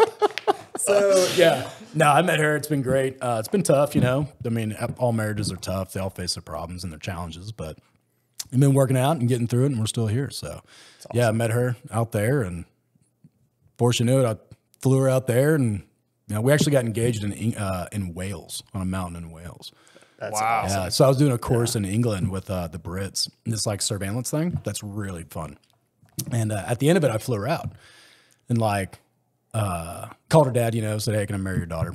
so I got like, a, there's Mount Snowdon up in Wales. I got like a little Airbnb. So we spent some time in London, then went out to Wales, which is way better than London. You ever have that choice, don't go to London. That place sucks. Dude. Yeah. Like if you like New York City, then you'll probably like London. I don't like either. Like, yeah. go outside of London. Uh, but we went out there and we hiked up the mountain. You know, it was like piss and rain and storming. Mm-hmm. I was like, here's a story for the ages, you know? Like, how many people got engaged on a mountain yeah. in Wales? It was like, top that to all your friends, right? Yeah. So that was cool. But, That's yeah. awesome. Yeah, man. Wow. Okay, so you're you meet her after your first deployment. Yeah. Did you guys get married like right off the bat, or uh, I mean, it was quick, but like we were together for like six months, I think, before I asked her, and then we got the courthouse wedding, and then we had a real wedding after for like the families and shit, and then. Yeah, we got married in like 2000. Oh God, when did we get married? That's the way that you say that. That's every guy. Yeah, it is. Just, like, we had the wedding, for, you know. And she was like, she honestly wouldn't have cared if we had that. I was like, look, all our families are going to be pissed if we don't do this. Just yeah. we're doing it for them. Just fucking knock it out, yeah. right? Like let them do it um, and get pictures, whatever. Um, but yeah, so that was 2010 when I think we got married. Yeah. I believe. Okay. Um, gotcha. Yeah. So, what was your second deployment like? Wait, hold. On. How many deployments did you go on? Uh, I only did like seven, but like five of them. Well, two of them aren't real. Like two of them aren't real deployments. So like J sets, right? So like that's just like a training thing. So went to Jordan, right? We trained uh-huh. their guys and worked with the Jordanians for a couple months. Um, and then another one, I was, it's not really a deployment either. I was kind of working by myself in Turkey, like for some government stuff, setting up and working for like everything that happened in Syria right mm-hmm. before it kicked off. Um, and then before that, it was three Iraq, two Afghanistan. So those are like the real deployments. You know what I mean? Yeah. Like those were good. Like those were experience. The other ones was like, bro, like you're not really carrying a gun or really doing anything fun, you know, but it's cool, but it's gotcha. not really a I guess you could call it a deployment, but yeah, a non-combat one. Okay. So, so what was your second one like, eh, or how how different was that from your first? Um, similar, but that was around the time. The second one was to Iraq, and that's when like Operation New Dawn happened, where it's like the drawdown in Iraq. So they don't want hmm. stuff happening. Do we still get out the door a little bit? Yeah, we got out the door, did some stuff here and there, um, got some experience, but the tempo was a little slower. It was a lot more working with the Kurds and the hmm. Iraqis and trying to get them to not kill each other. Hmm. That was a big deal, right? Yeah. Because they were like, oh, civil war with the Kurds and Iraqis. We're like, dude, the Kurds would destroy them. You know what I mean? Like, mm-hmm. anyway, it would be bad for everybody. So, so it would be like a clearing operation with them. And we go to this village and like, we have Kurds and we have Iraqis. Like, y'all are gonna be friends, and they're like, nope, we're not. and we're like, no, listen, dumbasses, you have to like play nice together. And like, the fuck we do. And so, uh, in in Arabic. Kurd is like how you say the word monkey. So they always refer to the Kurdish, like it's like a slightly different pronunciation, I think. But like Kurdi is like monkey. So they're like, oh, the monkeys. But they they change this one little sound, and the Kurdish are like, that's not how you say it. You know, like mad. But uh, we pull up, we're doing this clearing operation, and we're having them set up trucks and everything. And I remember I going over here and talking. I turned back around. Kurdish trucks are on one side, Iraqi trucks on the other, and they're all pointing their guns at each other, right at each other. And we're like, God dang it. Like, dude, point the guns out there, not at each other. Like, no, them first. It was like children. You're like, Yes. come on, guys. You know, and like, I get it. They don't like each other for good reason. So, but that was kind of funny. Why did they not like each other? Uh, it goes back to what Saddam did to the Kurds. There's a lot there, and the Kurds have just been shit on their entire existence, right? By everybody, you, you know what I mean? Um, you know, they got their pros and cons, but they're kind of a divided people between different political parties, um, which I can't even remember. There's like YPG and YPK or something like that. And there's some other stuff. Um, but there's, yeah, they've always been kind of shit on by the Arabs, you know? Um, which is funny because when you go to Iraq, the nicest place in Iraq is beautiful, clean roads, nice restaurants. It's all in the Kurdish areas. It's, Really? it's gorgeous up there, dude. Like Wow. I would go on vacation there. Like there were some, I got pictures. It's the most beautiful thing I've ever seen. Like hotels we're staying at. Not, like- not like super nice hotels, but they're clean. Yeah. They got good food and the people are super nice. You know, like it's a little bit different. You know, there's no trash rolling down the roads for the most part, you know? Um, it's just different. So it's funny because a lot of the bad guys in Iraq they, they live up in Kurdistan like terrorists, and they it's like nice. they relax up there, then they go back down. There's Yeah. like some there's some stuff going on with that, but, uh, from what I've been told. So Gotcha. it's interesting. So while you've been there and continuing to deploy, do you kind of do you take on more of a leadership role as you grow, or are you are you still doing weapons sergeant or weapons? Yeah, at this time I'm the still I'm the senior bravo. I'm still a weapons guy. Okay. Um, I'd say a really defining part of my career was when I became the Fox. So like maybe a month before we deployed to Afghanistan for the first time. Uh, we know what we're doing. We're going to this one place, this one VSO, Village Stability Operations, or VSP, Village Stability Platform. So we have a base, right? We're taking over for another fifth group team that basically built it. And then we're going to go in there and then we're going to work out of this. And then we've got to figure this whole area out, which because people haven't been there for years, right? Um, so it's kind of a black hole for information. so about maybe a month before we deployed, uh, I think it was in we pl- deployed that time in January again, I think, or February. It was sometime around Christmas, I think. Our 18 Fox, uh, Chad, unfortunately, he had to stay back. He couldn't go on the trip. Some personal things happened, you know, it sucked. Um, fair enough, man. Um, got it. So I remember Doug called me. He's like, "Hey, man, I'm gonna make you the Fox." I was like, "Uh, what? Like, you sure about that?" He's like, "Yep, you're the Fox." I was like, "If you if you'll do it," I was like, "I mean, you tell me to do it, I'll do it. Like you, anything you ask me to do, I'm gonna do." Um, like you know what you're getting, right? He's like, "Yep." Unfortunately, you know, like joking around. So I became the Fox, and that was a really. Um, I didn't go to the, sc- the school to be the Fox. I didn't go to the 18 Fox course. That was an E6. Uh, usually that's an E7 job. I was still in E6, so I played the acting Fox, and that was a great time. And I learned, like when I said Doug, like that that deployment was a big one. Like I still have a picture.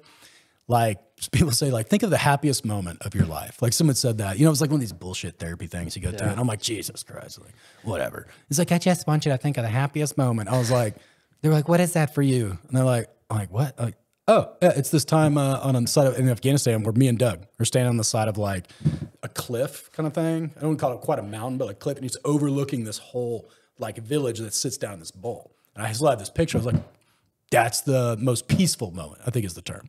Most peaceful moment in my life was that one. So mm. getting to work around Doug because he was a Fox before and he kind of taught me what to do, but he said, Hey man, do it your way. Do what you feel is right. I was like, okay. Wow. And it was super cool, man. I made some I made some mistakes. Don't get me wrong. But he let me make those mistakes. And then he counseled me and say, What are you gonna do different next time? You know, or Doug wasn't a guy that talks a lot, very reserved. But if he gets mad, you know it because it's little subtle things. You know, he purses little lips and he breathes in deep. He doesn't talk real loud, but he'll just a little bit louder. And it's like, oh shit, dad's mm. mad at us. You know, yeah. like we're in trouble, right? And it, you don't ever want Doug to be disappointed in you. Yeah. So that was a good, that was a good experience, man. I, I think I really grew as a person. I grew as just a, you know a team guy. You know, with my team, I grew in responsibility and accountability. Um, because part of my job was making sure everything, everybody knew everything, predict what's going to happen, and saying, "Hey, man, these areas are areas we got to watch out for." I'm tracking all the activity in this area. I'm building together packages and working with our HUMINT people, um, stuff like that. So it was really interesting because your job is to protect the team and prepare them for everything, right? Intel wise. Um, so that was interesting. It was really cool. Um, I was not your typical computer guy, right? Like it was I'm not sitting behind a computer yeah. typing all day. Terrible, right? But I, th- I, think I did a good job. Um, but I learned a lot there. That was mm. a good one. So. Was that kind of a, a phase where you were forced into self education? Like, hey, this is a job I'm passionate about and I have to learn this stuff. And so, sitting behind a computer, having to put together packages and self educating on individuals, probably talking to wherever you're getting your intel from, you're then having to write a report on someone. Was that kind of a form of college where you were like, this I can get yes, behind? It is. And when you say it, it makes me realize that. So we had a few people on that trip because um, at most, the least amount of people we had on our base was 18. The most I think was 24. So we only had eight guys on our ODA, or eight or nine guys on our. We got the ninth guy, George, our new medic. He flew over. I think he was number nine or number eight. Anyway, we had a small team that time, and we had ten uh, five infantry and five tanker kids from third ID to like support us, right? To give us some more bodies. You know, we're on patrol and help man in towers. Um, and then we had a couple intel people, which were both officers, which was funny because like it's a captain and a lieutenant, and they're like, uh, I was in charge of them. I'm like.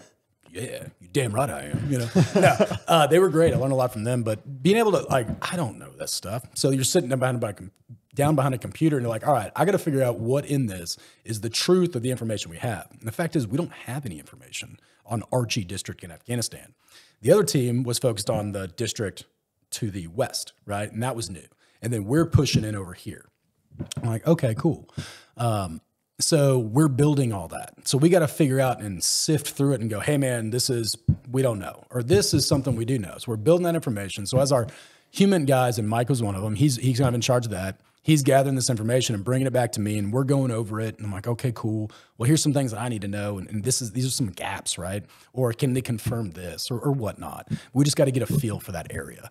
Um, that was super interesting. So by doing all that and then having to formulate thoughts you know not formulate thoughts but take that information and then put it in a digestible way for a bunch of green berets who honestly you have five minutes max before you lose their attention right? Like I can't sit here and be like, uh, guys, technically the uh, you know cultural differences between these people and these people and this tribe has desensitized them to the overall, you know, like they're gonna be like, shut up, nerd, like tell us what we need to know. It's like, hey man, these guys, this, you know, so you got to put it in it, you got to package it in a way that's digestible for them and gives them exactly what they need to know. Um, and every time we go out, it's like, hey man, same, same, same. Here's something new. We're going to be looking out here. Historically, we're tracking every IED in the area.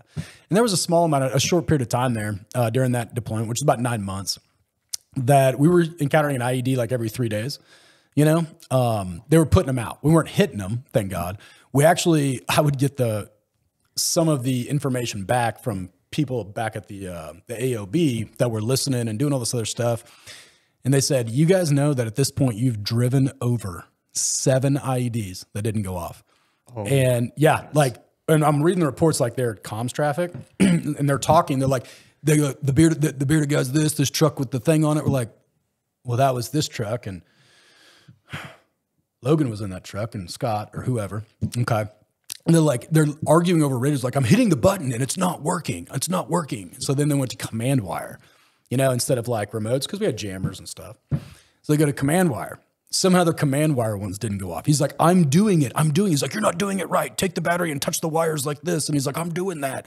And we're just walking around like doing our shit. Like trucks are driving over these IDs. It was like, and by the end of the point, we count seven. And I was like, oh, That's a lot. That's yeah. wild. Yeah. Thank you, Jesus. So, You know, so we had uh, Remi Adeleke on previously, and he explained a little bit of what HUMINT is. Can you explain um, c- what percentage were you intaking intel from signal intelligence versus human intelligence, and then kind of like how does that information get collected, and then like when you're reading it, and obviously you can probably only explain so much, but Yeah. um, what percentages are you actually taking from each of those? And also, are you in charge of saying, hey, I need someone to go actually make a human conversation with so and so to gather more information? Are you in charge of that? Or is that someone else that's just providing to you a stack of papers or a PDF of like, here's everything that we have? the way we did it and the way we do things may not be the way other people do things. So on that trip, when I was the intel sergeant, I know our gaps.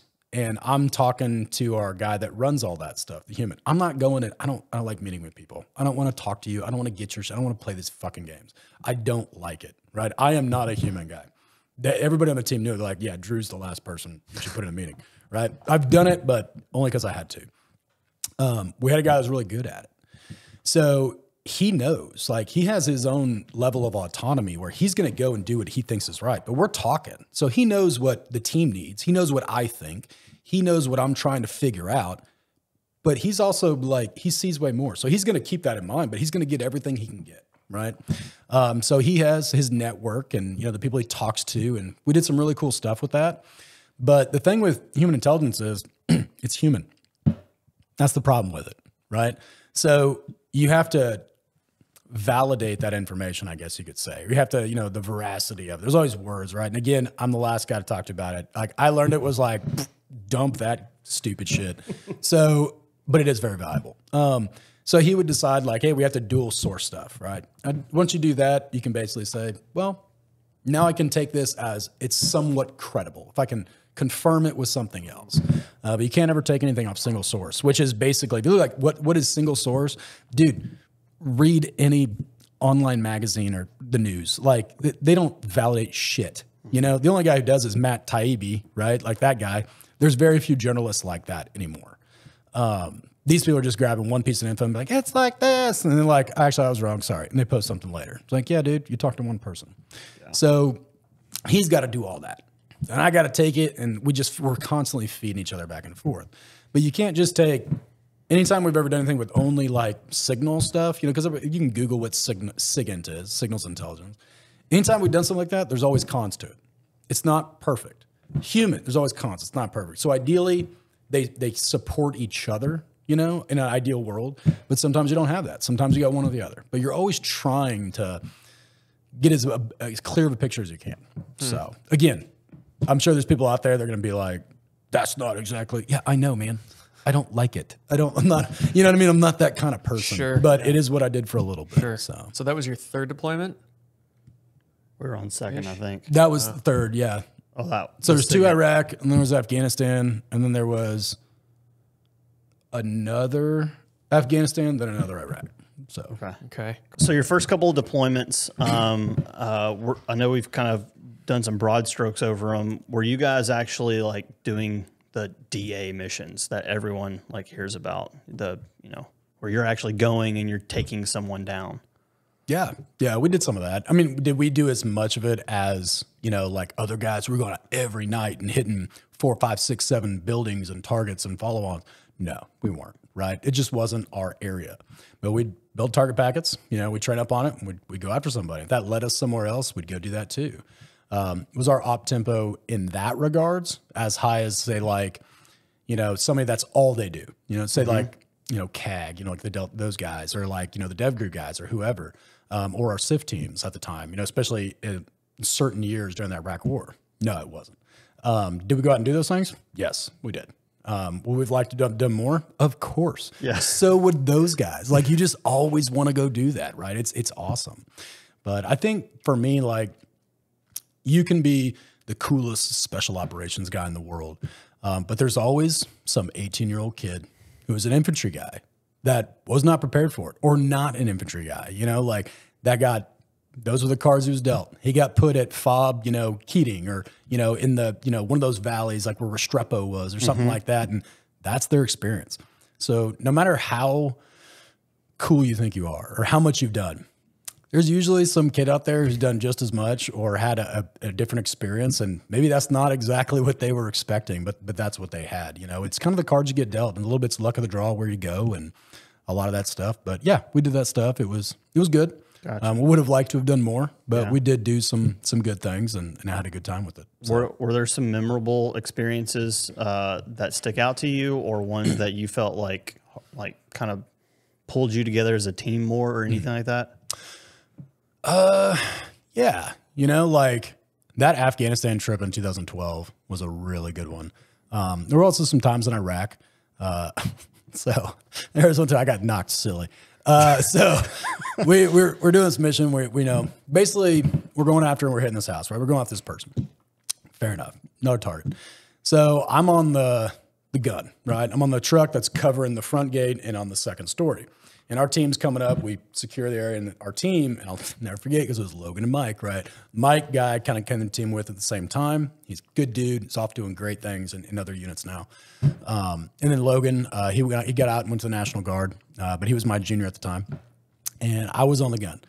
And I'm like, oh, cool. So pull up at a 50 cal point this way. And then I got my saw out, you know, at night vision. I'm covering the second story. And I'm like, okay, these guys are going to breach the gate, right? They're going to, they're going to tell me that they're going to breach the gate, right? so I'm like, something's taking too long. And so I look down and look over at the, the metal gate, like in the courtyard on the whatever. And I look down and they're all stacked up. Oh, Mike, and there's Mike, there's Logan, there's the Iraqis. I'm like, cool. And all of a sudden I just see Logan like this. I see him turn and check. And I see that quarter turn on the initiator, and I'm like, dude, like, you got to tell us that shit because I'm like right here. And right as I pull that gun up and start to go down, that goes off, that charge, right? and they didn't like communicate that over the radio. That was a screw up, right? Yeah. Probably should have told us, right? Because especially because Doug, our team sergeant, the captain, they're on outer security and they just hear this giant boom. Mm-hmm. And that that charge was made by Logan, who's a Bravo, who's not the engineer demo guy on the team. So what did he do? He was like, "Hey, hey, how much charge do we need for this?" Logan's like, "Ha, P for plenty. That's my math, right?" so he made this charge that just so when the, the charge went off, I was going down in the turret trying to like get back a little bit, you know, from the mm-hmm. blast, and it went off right as I was coming down, right like in the opening of the hatch. So it went off and it snapped my head back. My head cracked off the turret in that hole. Nods messed up, and I came down. The gun, like the saw, hit me in the face as I was going down, oh. knocked me out for like a few seconds. You know, and they're like, "Oh shit!" They're like, "Oh god, Drew!" like one of the kids, guys like driving, like, "Oh god, Drew's dead." You know, I'm like, "I'm not." Uh. So I'm like, "Oh," you know, like come up like, "What?" You know, just concussed. You know, so I jump back up, and I'm like kind of woozy. It didn't just blow the gate open. It flattened the entire metal like framing and ripped it out of the courtyard. Blew every window on the house out, glass everywhere. Whole thing smoky. Iraqis are like, "Ugh," you know, like they're all messed up. And like all of a sudden I see this, people just start walking out of the house like Stumbling out. fuck it, I quit. Hands up, like coughing, like stumbling. There wasn't shit to clear. And everybody's just walking like, oh yeah, we get it. Come here. You know, I have a seat. And it was like the whole thing changed. And like Doug's pissed. He's like, what the hell, you know? And he's like, what? He thought it was a, you know, like a houseborn ID. Like uh-huh. we got blown up, you know, something like that. Something bad just happened. It was that You know, so he's rushing over. He's real, you know, hey, what happened? You know, report in. And I'm going like, oh, Logan blew the gate, you know, like, or one of the guys blew the gate.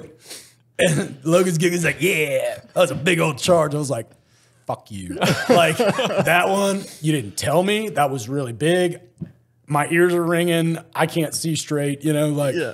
I don't know what's going on right now. But I just remember seeing like all the smoke and all these Iraqis just like coughing and like falling to their knees, like, you know, glass everywhere. All the windows are blown out of this house. Dude. Right, there's like metal bars they have. And I uh-huh. remember seeing that. And people were just walking out, like, mm-mm, no, sir.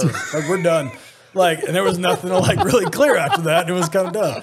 So that was pretty funny. But I got a concussion on that one pretty good. Good Uh, gosh. That was hilarious. So lessons learned. Oh yeah, and that gun hit. I just remember like boof, like that, you know, like hitting. And I remember this like smack, like right in my face, and that was a saw hitting me in the Gosh. as I came down.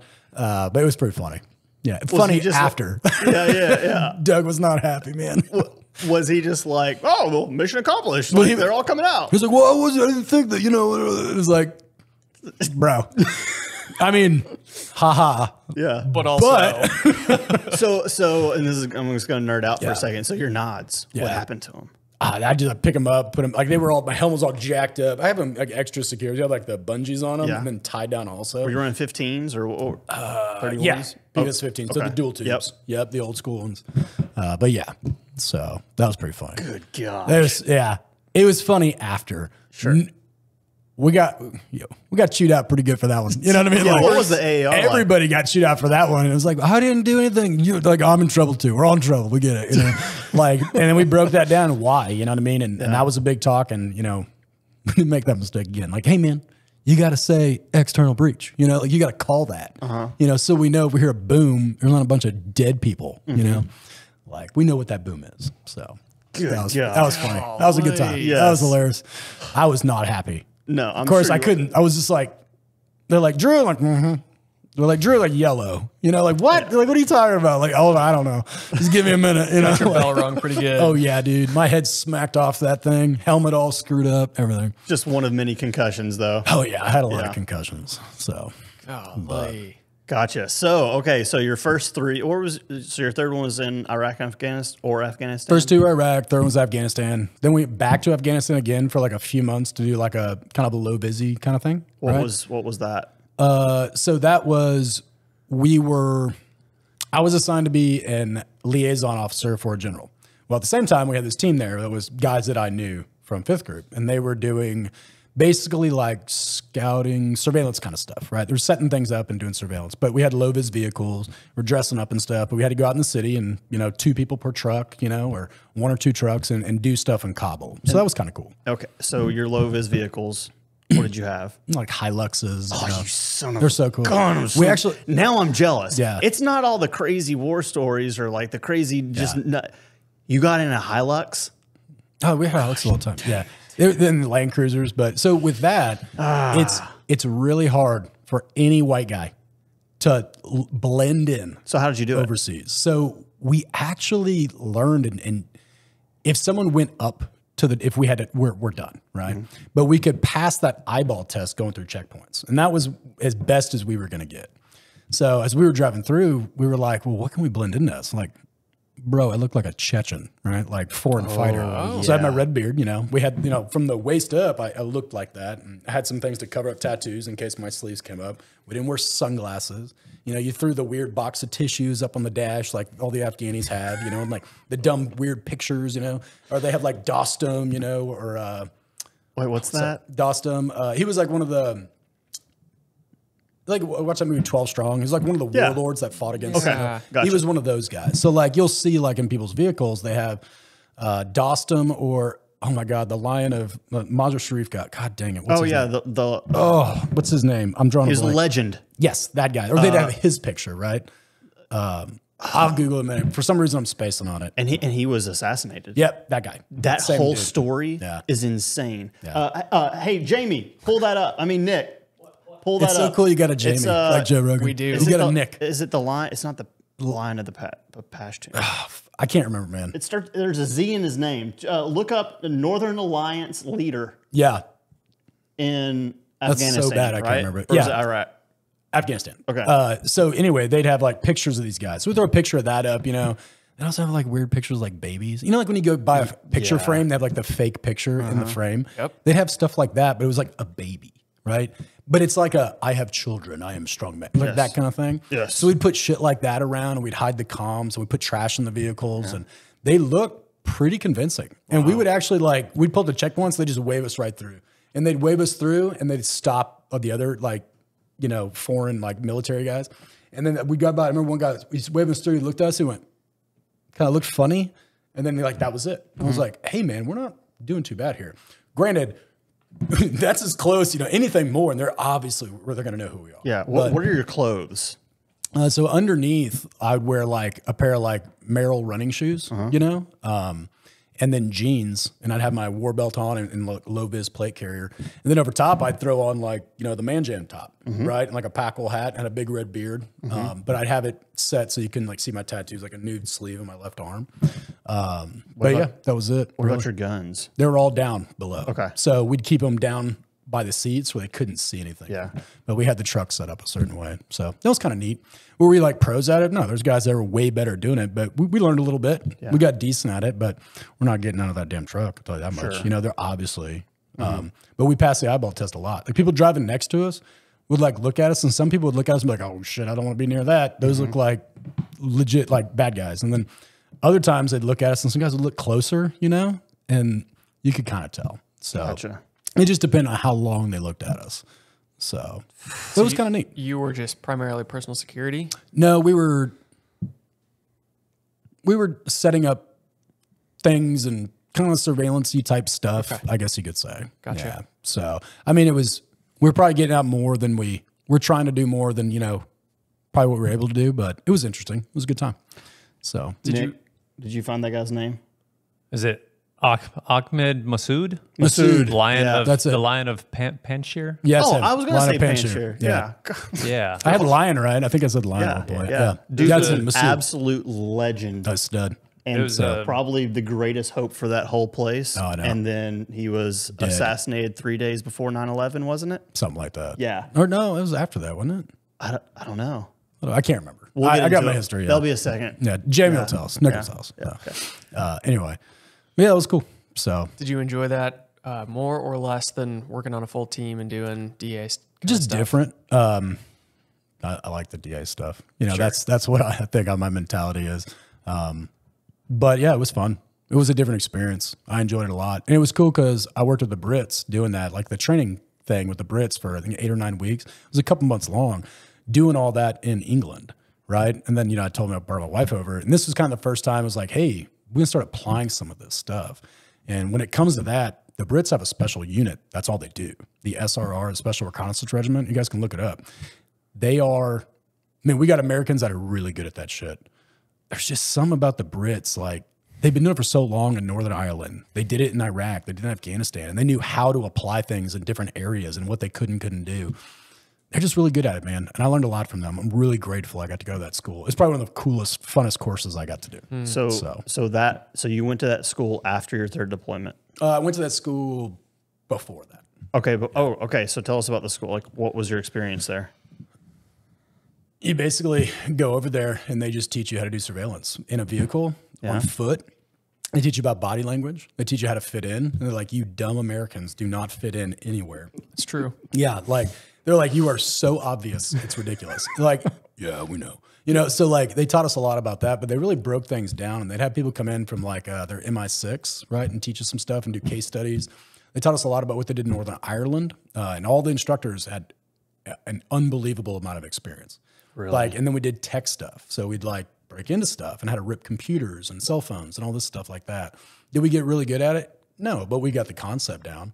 Uh, but we did it, every day was surveillance. We're driving with your maps and radios on there, um, and that that rolls right into that that that time I got caught. I'm so excited for this. so just just for our viewers, just know that I think it was the first time you and I had ever met, and we were at some event. Um, we were it was NRA conference. Oh, was It it? was NRA conference like seven or eight years ago, and uh, uh, you were over at the Airbnb that night. That's when we first Oh, yeah. met, Yeah. and uh, we are like, I was like, I like your name, and you're like, I like yours too, and then you know, Great then we, then, yeah, then it was just like, oh no, um, and I heard this story, and it is uh, it has forever been one of my favorite stories. That's not mine, and uh, I know I can't do it justice. I've I've tried to tell Josh. I've tried to tell him like, oh, I got, I got this story that, that Drew told me, and I've I've totally been that guy where I'm like, I've got a someone else's story I'd like to tell you, um, uh, but I don't remember all the details because it's been so long. So. Why don't you take it away? Tell us what you were doing, Okay, all right. and this is This is great. So no shit. There you were. Yeah. No shit. so we're working in England with these guys, right? So basically, what they do is you drive around in cars, and like you have to follow somebody, and they teach you that, and then they get out of the car, and then you got to get out of the car. So they might get on a bus, right? They might get on a transit system. It doesn't matter, but you got to figure this out. And you have comms on you, like um, kind of like hidden comms, right? Uh, so we're like it's like called an induction loop. You have an earpiece in, and this thing that goes around your neck. All of it gives you terrible cancer, I'm sure, right? and then you got like a little push to talk button in your pocket, and you carry your radio. Like I wore like baseball like sliding shorts, and I pulled them up real high like Urkel, you know. And I shoved the radio in like much small in my back, you know, so you couldn't see any of it. So they're basically they're teaching you how to do this. Fair enough. So I'm following this one guy, and I'm like, hey, this is whiskey. I'm at blue four two. Who can at blue four four? You know, like so I'm, I'm looking for somebody else to take over because I've been behind this person for too long. They're like, no, but no one can. No one's chiming in. I'm like, hey, this is so and so. Like, hey, whiskey, you're on your own. I'm like, shit. Right. I'm like, all right. Next one. Hey, who can here? Nothing. This day, I don't know if they pulled them back or if those guys were just so far behind they couldn't catch up. Like, Wow. I don't know. Uh, but anyway, so I'm like, they go to this residential area, right? I'm like, cool. So I parked my little ways away, you know, you know, trying to do my best. I'm like, this motherfucker knows I'm here, dude. Like, they totally know I'm here. Like, how could they not? Now, do these people are they a part of Yes. the training? Yeah, they're all role players. They're Okay. all in, in it. Even the person you're following. The person following. Now, the people around us, no, these are just people going about their day. But like the person I'm following, yes, they're in it. And the, my teammates and you know everybody else. So I get out and when this person starts walking through like a residential area, and like over in England, it's a lot like duplexes, right? They mm-hmm. don't have like yards and shit. It's just like you've seen it on TV, Yeah. right? So I'm walking down this like alley slash street where all the front doors are. And I'm trying to stay behind, like out of, you know, just one curve around. So I'm just constantly keeping it. I'm just walking around and I'm, I'm doing little shit to try and find this one place, you know, like signal type stuff and run these sensors. And I'm like, push to talk. My push to talk's in my pocket, right? As I'm walking. So I'm like, okay, at this location, go in here, right? And now I don't have any more like preset locations. I just have to describe it. Start walking around. I see this person that goes around the backside of this like uh, community, right? This living area, like neighborhood or whatever you want to call it. And there's like this pathway around the backside. There's like fields over here. And I notice, oh shit, people are starting to come outside. And I'm walking around and they're asking me questions. And I'm like, cool. So all these women are coming out with like strollers and other stuff. I'm like, that's a school. School's getting out. Oh. And these moms are all, I'm in the crowd of moms. And I've got my hand, my left hand, in my left pocket, pushing a push to talk. Show us. So I got it like down here, and I'm like doing this, like, hey, this stuff. Well, when you get where you can't talk, right? You can't talk at a point. I'm not the most like, uh, what's the term? Like subtle person, right? You don't say. I, like, I'm not. I'm not saying I was good at any of this. I'm just saying I, I did it and I learned it. Yeah. And like, great course. So I'm walking around, and like, there comes a point like, if you can't talk, then you just use your clicker to talk. Yeah. Right. And like, was it like two for yes, one for no, or something like that? Mm-hmm. Or if you just hit it a bunch of times and like, clear the net, you know, problem, something like that. I can't remember. And like, I hit him like, hey man, I can't talk. There's like women, and so I'm like, they're asking me questions. I'm like pushing this in my pocket, right? and this lady comes up next to me. She's like, like looking at my pocket and her, and I'm just like, doesn't help. I'm wearing these stupid sunglasses. By the way, no one wears fucking sunglasses in England, you idiot. Right? Like, I'm wearing like, I don't know. I look like a sexual predator at the moment. And she's like, all right, what are you doing, right? And I'm like, oh, shit.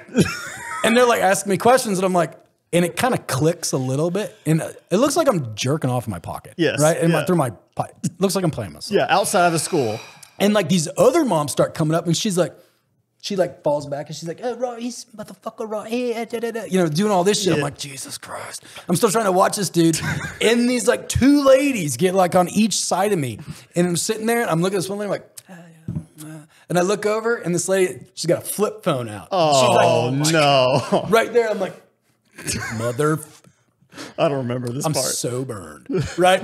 and so I'm like doing this thing in my pocket. I'm like, oh God, right?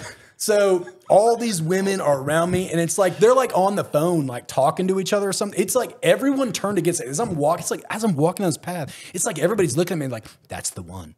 Like that's him. I'm like, oh my God, oh God, oh God. You know, like, get me out of here right now. I'm like, all right, we're done. Like, I gotta, yeah. They're like, all right, go ahead and get your car whiskey and get back. I'm like, cool. So I go back. Everybody's already there, right? I'm the last guy to come in. And I sit down, and I remember those instructors, was it Beanie and this other dude? There's two of them that day. And we get back, and he's like, they're like, so what uh what's your exposure on you and exposure on the car? Like out of four. I was like, uh, on me, four. They were like, if there was a higher number than four, we'd give you that. I'm like, God dang it. On the car, I was like, four. They were like, okay. Well, let me show you this. He pulls out a piece of paper. I got called into the cops, and there's a picture of me going, like in this lady's flip phone. With your hand in your Yeah, when my hand's like right here. And it was like, be on the lookout, potential sexual predator. like, this is what he's wearing. Here's what he looks like. Here's the car they were driving. I'm like, they go, yeah, the cops saw this and immediately called us and was like, hey, we think we got one of your guys. I was like, oh my God. So they're always like, what are you doing over there? Every time, like, after that, they'll be doing something. They're like, oh, what are you doing in your pocket right there? I'm like, oh, dang it. Because it looks like you're freaking planning yourself in your pocket. So I got called in as a sexual predator in England, which was pretty funny, Yeah. Oh, also pretty embarrassing. You know, oh so like there's like we told the cops it's part of the. They're like okay, so they just like deleted it. Not a big deal. I was like, do I have to worry about this? Like when I'm going out, is someone going to see this and like call the cops? And they're like, no, no, no, we, we, we got to take care of it. But they they just they ragged on me for that the whole course. Never let it go. Oh no, they shouldn't have. I wouldn't have done it for anybody else. It was pretty funny, and I'd laugh about it, but yeah, that was that. How much longer did your course go on after that? It was like halfway through the course, so it's like I got another four weeks or something, you know, like four or five weeks. I was like, God dang it! Oh, so, That sounds like a really cool course. Like I That know was awesome. We learned a lot. So I don't know the details of the one that you do right now, but you do something with Baer right now on surveillance. no, we do we do like an urban survival thing Okay. with uh, Mitch from Agonic. Yeah. Um, so we do that uh, Nashville, which is a pretty cool course, but it, we're not doing surveillance or anything Okay. like that. It's more centered around because Mitch was a SERE instructor. Um, so the, the guys don't know it's survival, evasion, resistance, and escape, right? So he basically teaches people, and I kind of help out a little bit. Um, we teach people on the first day, like, what's the most likely thing you're going to encounter? Urban unrest, power outage, natural disaster. Well, then we teach them, you know, medical stuff that, you know, improvised medicine, you know, medical stuff. We teach them how to find shelter and sustenance. And then we teach them urban navigation when you don't have cell phones and all this other stuff, and how to like where satellites point. Like, oh god, I didn't know that, and they point to the equator, you know, or or whatever. Um, so we kind of go over all that. It's pretty funny to see Mitch. Mitch is hilarious, right? Wow, man. So he'll be going, he just goes like a dumpster behind these restaurants. He'll dive in, look at all this great food they throw away. He's just like, what? He's just like, hmm, that's an avocado, you know, and like, here, try this. And they're like, I'm not eating food of a dumpster. You know? But like, we don't we don't make them do that. But we kind of show them. And then the second day, we basically have like uh, apps, these secure messaging apps. And then we have trackers, right? um, these geo tracker things. And they have like a little pack on them. So they put their emergency shit and have a little card that says like, hey, if something happens, you know, just tell the cops they know. And we're here inside of a hotel where we have a little command center, the conference room. And we, we watch them on the thing, but we update them like, hey, this happened. What are you going to do? And they have to do certain things. Gotcha. Um, so basically, the, the second day, we just put them in a white van and we tell them like close their eyes or put some over their head, and then we drop them off in the city. And then got to figure out where it is.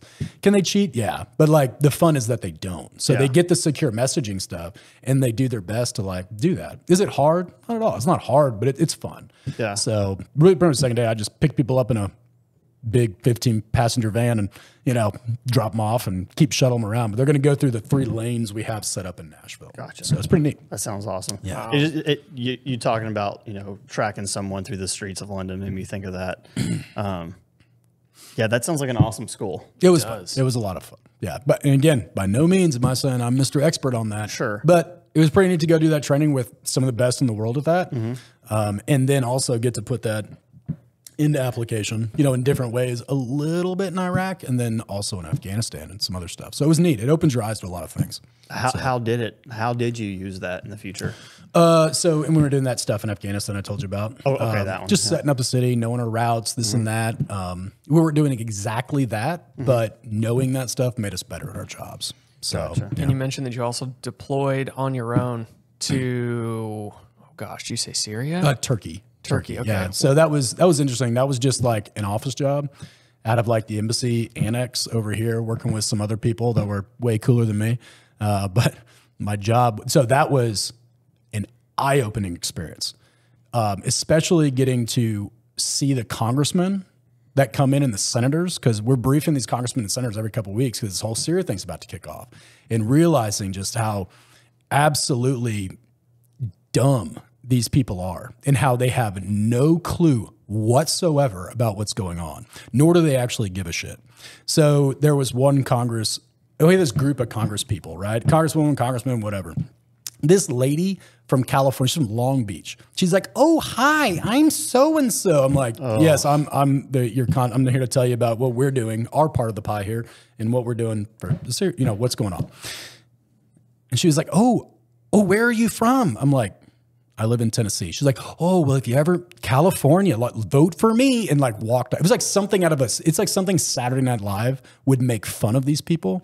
These people are some of the dumbest people you will ever encounter in your entire life. There was one guy that showed up with questions that wanted to know.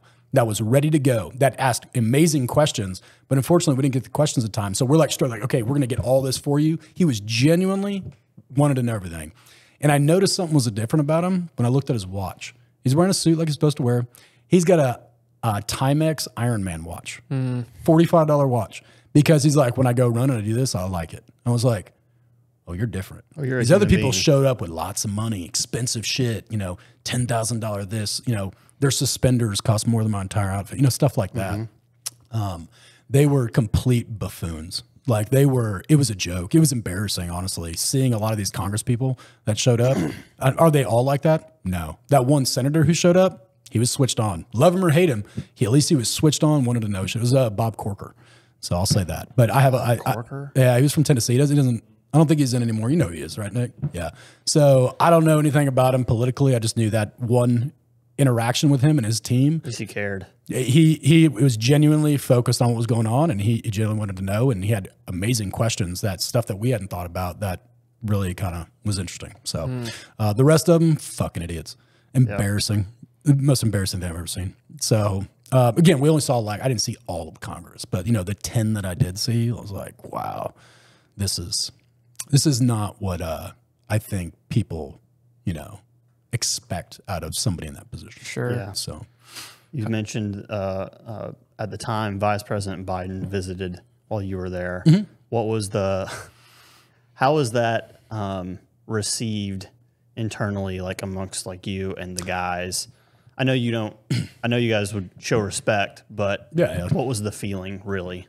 Well, it, we have a job to do, Yeah. you know, and it doesn't matter who sits in that office. We have a job. We're going to do our job, right? So, um, it was when he was vice president. Uh, he came out. and We had to pull like some security thing, right? Basically, we were like a QRF. So some of our guys went on this ground convoy with with them and some others, and this big thing they had going on. That was whatever. But um, our guys, you know, they did that what they're supposed to do our we our job was like if something happened, we're gonna get on a bird, we're gonna do it, right? Which is a common thing, right? Um, we did not interact with him directly, other than like a walk by or this or that.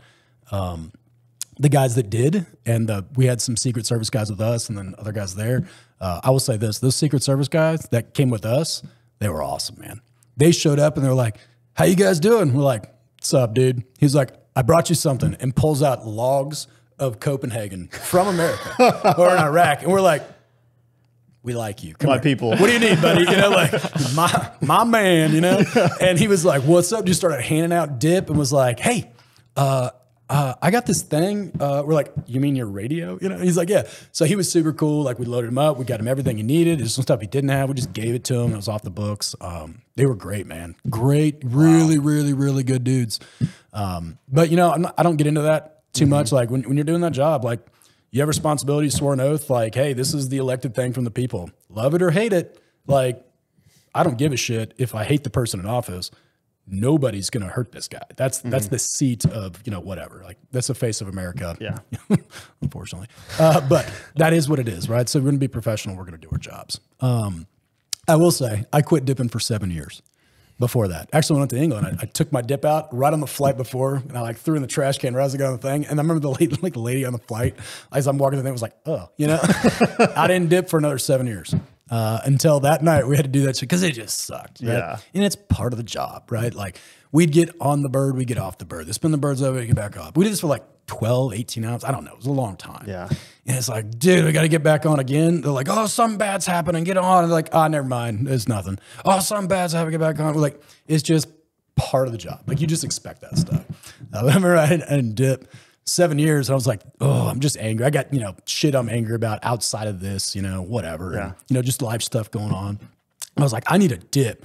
And all the guys on my cell, like my assault cell, were like, you quit dipping. I remember this one guy, Hambone. It was like Copenhagen cans because I was sitting on like our little side by side thingy with all our shit on it to drive it up under the bird. And they were like, Copenhagen cans were coming out of nowhere, like hitting me. I was like, ding, ding. I was like Jesus. So like, uh, I'm like getting hit. I like a little mark. I was like, oh, I got it. I got it. I go like, you want long cut? You want snub? You want this? You want that? I'm like, dude. I was like, I quit dipping for seven years. You guys are like, yeah, yeah, yeah. Drew, have a dip. Have it be like us, Drew. You know, I'm like, dang it, man. So I started dipping. So I jokingly say, uh, jokingly, I started dipping after seven years because of Joe Biden. So, but, yeah, Wow. yeah. So, but That's again, solid. you have a job to do. None of that matters. Right? Yep. That's elected. That's what it is. Like whoever the people vote and put up in, in those positions, right, or however that works. That's our job in the military. You, it's not biased. You can't be that way. Mm-hmm. Like you, you are, you know, accountable to those people who the people have elected. So love them or hate them. Gotcha. So Well, we could keep diving into all of your deployments and such, but Yeah. before you know we we continue to move on, and at some point have to close out a podcast. I Yeah. want to hear some about Baer Solutions, spinning that up, um, you know, stepping away from the military, and then kind of just your mindset on. Obviously, there's a huge difference between being in the military and teaching people professionally through being Green Beret versus now what you're doing where people pay money to show up and working in the firearms industry. So, first of all, did you know before you stepped away from Fifth Group that you wanted to do something which is now Baer Solutions? Yes and no. So, um, so for me getting out, like I had a lot of injuries between the neck, between the back, between, you know, like this arm, like especially my left hand, that's at 50 to 60% strength in my right. It's just atrophied from the nerve damage that I had. Um, there's a lot of little things that are just always going to be there, you know, and then the knees and the ankle and the shoulder and then the head injuries. I'm like, dude, kicking and screaming, right? The doctor was like, hey, man, you can stay in the military, but you got to think about your quality of life. You got to think about your family. Like, what else? So I made the, the conscious decision uh, to get out. And part of that was my wife, too, who I'm very grateful for. Um, so when I got out, I'm different now than I was in the military, like most people are, right? But I had a lot of uh, growing up and realizations to do as I got out. And so for me, that was wrapped up. It's who I was. That's all I could really think about. Like there was a lot of guys in my job that were great on a team, great Green Berets, just barrel chested freedom fighters. You know the the example of what a professional is, and they were also great husbands, and great fathers who loved their wives. They did the right thing. They raised their kids right, and they they knew how to be at the job to be this way, and they knew when they went home they needed to be a different way. I was not that person. I I could not. It took me a long time to learn that because I couldn't understand it. Right. Um, so when I got out, it's probably one of the better things that happened to me personally, and for my, especially with my daughter and my wife. So my daughter, like we have a relationship now that I don't know if I would have if I was still in the military. Not because other people can't do it. A lot of guys do. It just it took me it took that for me to realize it. Like now my daughter, what a badass dude. She beat up that little loser kid at dance on the stage. That was fucking great. Like I bought her ice cream for that. Like don't hit my kid. She's gonna hit you back, right? Like I'm so proud of that kid. She's so good. Um, but how would she be if I was still in and I wasn't around as much? Like I'm, I'm gone a lot now, but I make the most of it when I'm home. And how would my relationship with my wife be? Like that's a super important thing as a man is to not only have not to be the provider, the leader, and everything else, but you need someone that you can emotionally connect to, right? It's different. And that person, you know, whether you look at that biblically or whether you look at that just in general, that should be your wife, right? There nobody should come above that. And once I got out, my my relationship tough times. There's been some hard crap in there. Don't get me wrong. I know you guys know you're both married. Like sometimes you just want to kill them, right? But I said jokingly. But at the same time, she wants to do the same thing to me, right? She's like, how do I get him to die in his sleep? Right? You know, like she's probably thinking that at some point, right? But I grew a lot when I got out. I'm very grateful for the relationship I have now. So for me, when I got out, I went to a training course when I was in. It sucked. And I was driving back with three guys in my my car from my team at the point. and we all like shoot and do all that stuff. And we think we're pretty studly. And they were like, I was like, what'd you think of the course? They're like, it sucked, dude. And I was like, yeah, that was a big disappointment. So we all like jokingly said, well, let's start a, like a training company or something. Well, I got out and they all stayed in and doing other cool things. But like I was like, I could do that, right? Doesn't mean I'm the best at it, no. But I think every year that I've had Baer Solutions, I've grown and I've made it a little bit better, and I've learned a lot. Um, but it's constantly, you know, trying to be better, you know, because when you do this job, you're you're doing it. This is a service industry, and some people don't fucking get that, and that pisses me off. People are paying you to help them. And the difference in working in the military and working here, when you do training in the military, everyone has to be there. Like, they're like, all right, come on, let's get it over with. When people are paying you, they show up ready to go with notes. Like, they're ready, like, I got eight hours, dude, let's go. That's a different environment, right? And don't get me wrong, there's there's a lot of that too. Like professionals, we take our training seriously in the military, but you know what I'm saying, right? Like this is an expectation versus this is what I've spent my hard-earned money. I got one weekend. I'm only do this one time this year. This is the only time I ever do it. But I'm I want this. I need this, and you're going to give it to me. You're providing a service, and you're there for them. So that's that's one of the differences because you kind of mentioned it in the being in the military versus now. Um, so yeah, I I can't say enough good things about. Man, I wish I was still in. I'm not gonna lie. I'm kicking and screaming. I did not want to get out. I still want to do this. It's you know mess with me. I still want to go do that stuff. But honestly, for me personally, as a person, and for my wife and for my daughter, um, that's more important. So when I got out, it's like, how do I focus on this and make my family? And the mission before was always do good things for your country and do it to those people over there before they get here, mm-hmm. right? Now it's I'm going to do this at home, but I need to focus and, and get a zoom in a little bit, right? I need to give a smaller view of what's important, and that's this family. That comes first. So how do I do that? Well, I have a, a company that we have to earn money. You know, we got to do these things. You have to provide for the family, but you have to provide a quality service. So one is family first. That's what we say in our family. Family first, period. Each and every time. If you're going to do something, you do it full ass, not half ass. You ask my nine year old daughter, you'd be like, you better do that full ass. And she's like, oh, not half ass. You know, like she does, right? So there's that. And then what is that purpose, you know, now is I don't get to go do those things anymore. But I have some some good experiences. I have some things that I do that I think are valuable, right? And I can help others who are still doing it. So now I can support those people. And for me, a lot of it's been as the average day person, you know, good, I hate the term civilian. I, I hate that term. Yeah, me right? too. And I know you guys use it like jokingly, like tongue in cheek, dirty civilian. But like I think of these people as just responsible, good Americans. They're patriots. They're Citizens. citizens, Yes. right? Like, uh, however we want to put that, like without using the word comrade, because we're not fucking Russians, all right? So everyone stop using that dumb shit. Um, so with Yeah, that Nick. said, like we're these citizens of this country, like these people, like whether it's them, whether it's the law enforcement who are sworn to protect them and their rights, and their rights, and the military who's going out and do this stuff, all these people here. Now we can support them and do stuff. One, it's fun to do it, right? It's also serious, but it's fun. Like we're teaching people how to shoot guns, and we're teaching them, you know, stuff that we can do. Um, so that's good. I, I really, really enjoy it. So with that, and then it's you know, how else do we do that? Well, we got Baer Solutions, and we're launching our products, which are coming out and going to go live in the next like week or two. I'm right? pumped about your I'm too. And then I'm sending guys those. So we got those belts coming out. Maybe by the time it comes out, they'll already be on the site, probably. Uh, our new, you know, belts that are, you know, kit belts.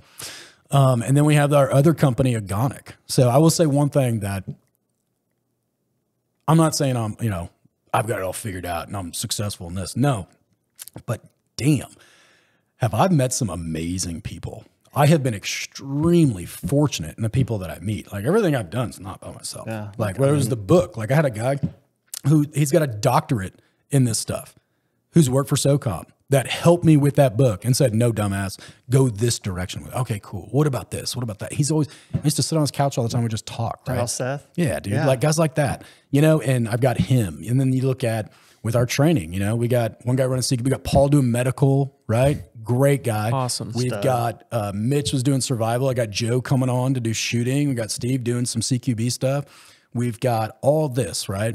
And then Tom, you know, running our, you know, Baer Media that does everything, all the content we put out. I wouldn't do any of that shit if we didn't have Tom. You think I'm going to do that?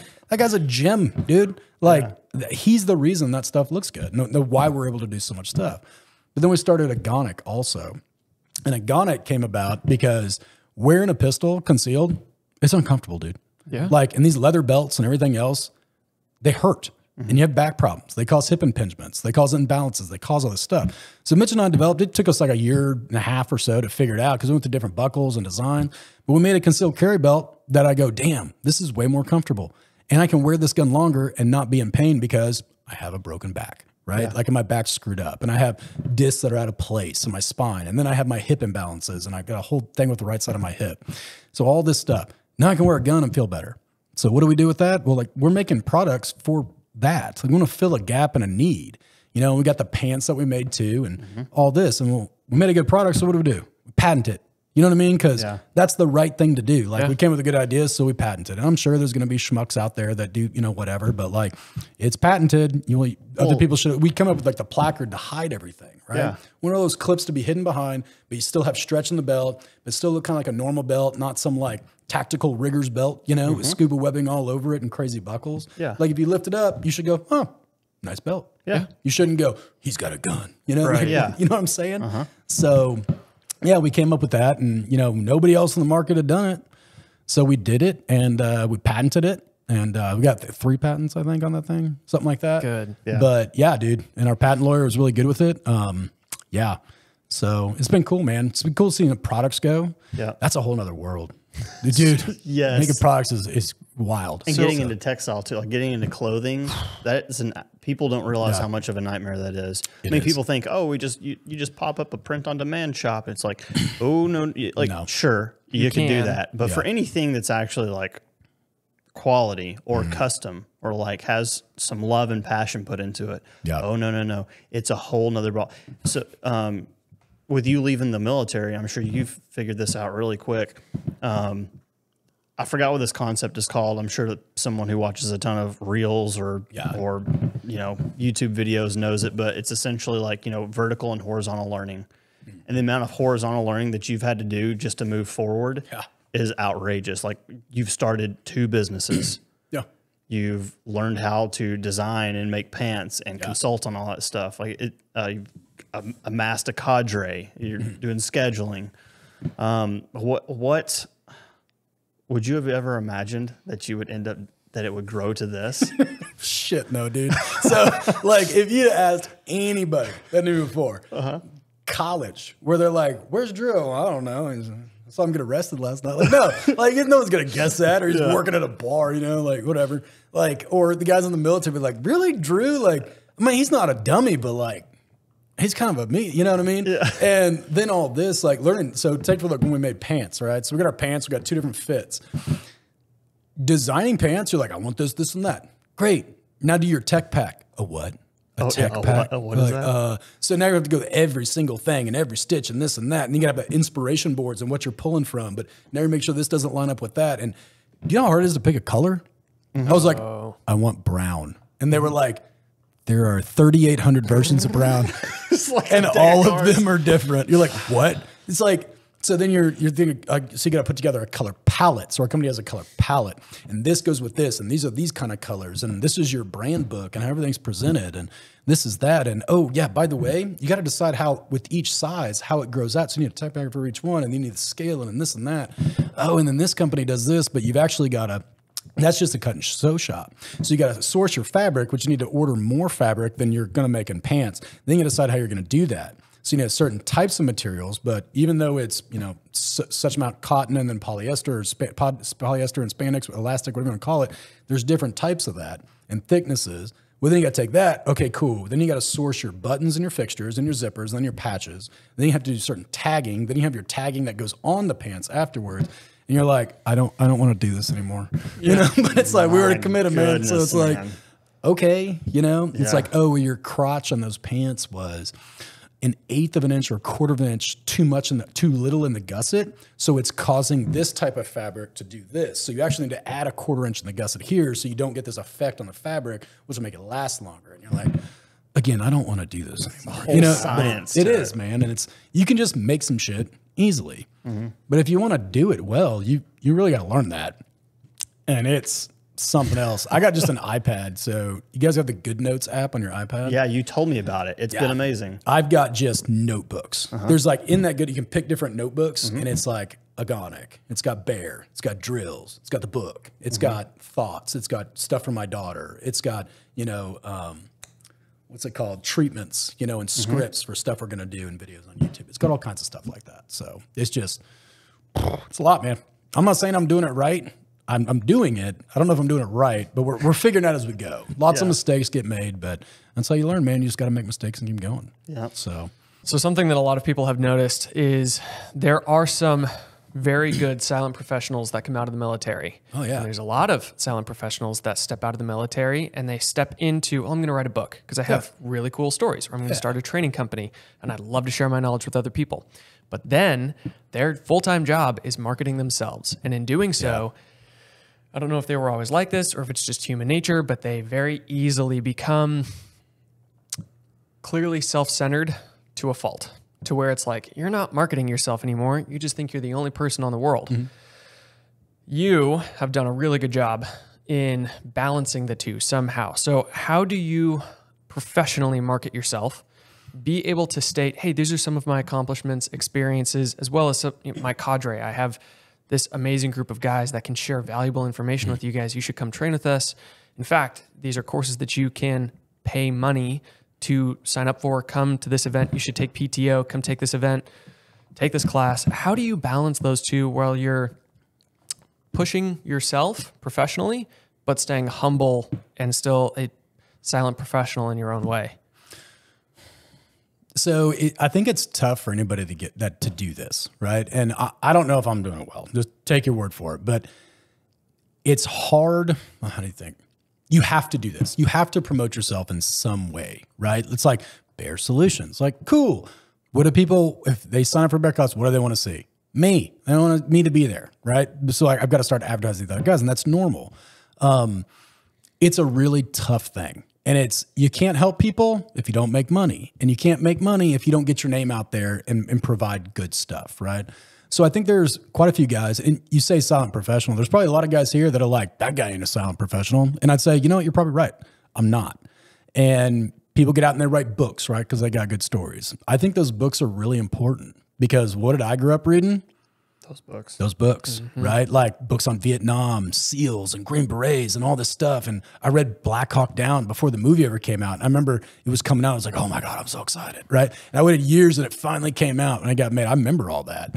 Like, I love those books, right? I read uh, the Richard Marcinko books, you know, the Rogue Warriors, right? And they were like, this shit. I was like, I don't care. It's awesome, right? Loved it as a kid. Marine Sniper, Carlos Oh, Hathcock. all of it, dude. Dude, Like yeah. I read uh, books on Jedburghs, like all of it. So I think there's, I think guys should write books about stuff, um, as long as they're doing it for the right reasons. I think you are right. You'll see guys get out, and then that's important. You got to do it.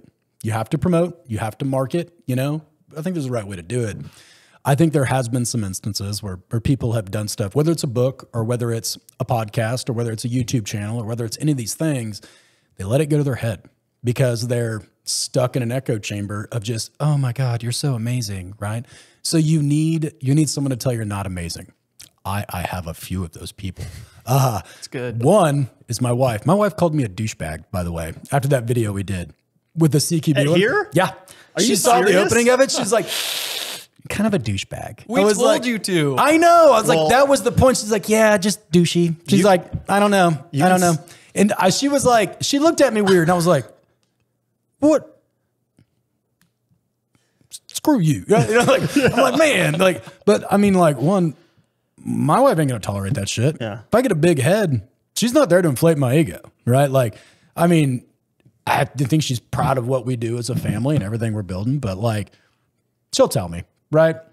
Um, she also doesn't know this space very well. She's not involved in this stuff, right? Um, but I got like Joe. Like I sent Joe a video that I just did, and I was like, "This video sucks. I can't post that." It was the one we filmed down there with Loophole with Steve Winiger. I was like, "I sound like a fucking idiot, dude. I sound like such an idiot." And I was like, "I can't do this." And I sent it to Joe, and he's like, "Shut up. It's fine. Post it." I was like, he goes, "Whatever." I was like, "Okay." But at least I can have those guys, right? The other thing is, I still go I'm back on the base and I work out at Fifth Group's gym once in a while. Not every day, but like maybe once a week, every two weeks. I know all the strength coaches there. I, I like to talk to them and they help me out. So those guys, like, I don't ever want to walk in to my old unit and those guys go, that's that one dude. Screw that. Like, ah, that's that Baer guy. Like, what, whatever, dude. Shit sucks. The guy's not this. He doesn't represent us well. So you got to have the douchebag check, right?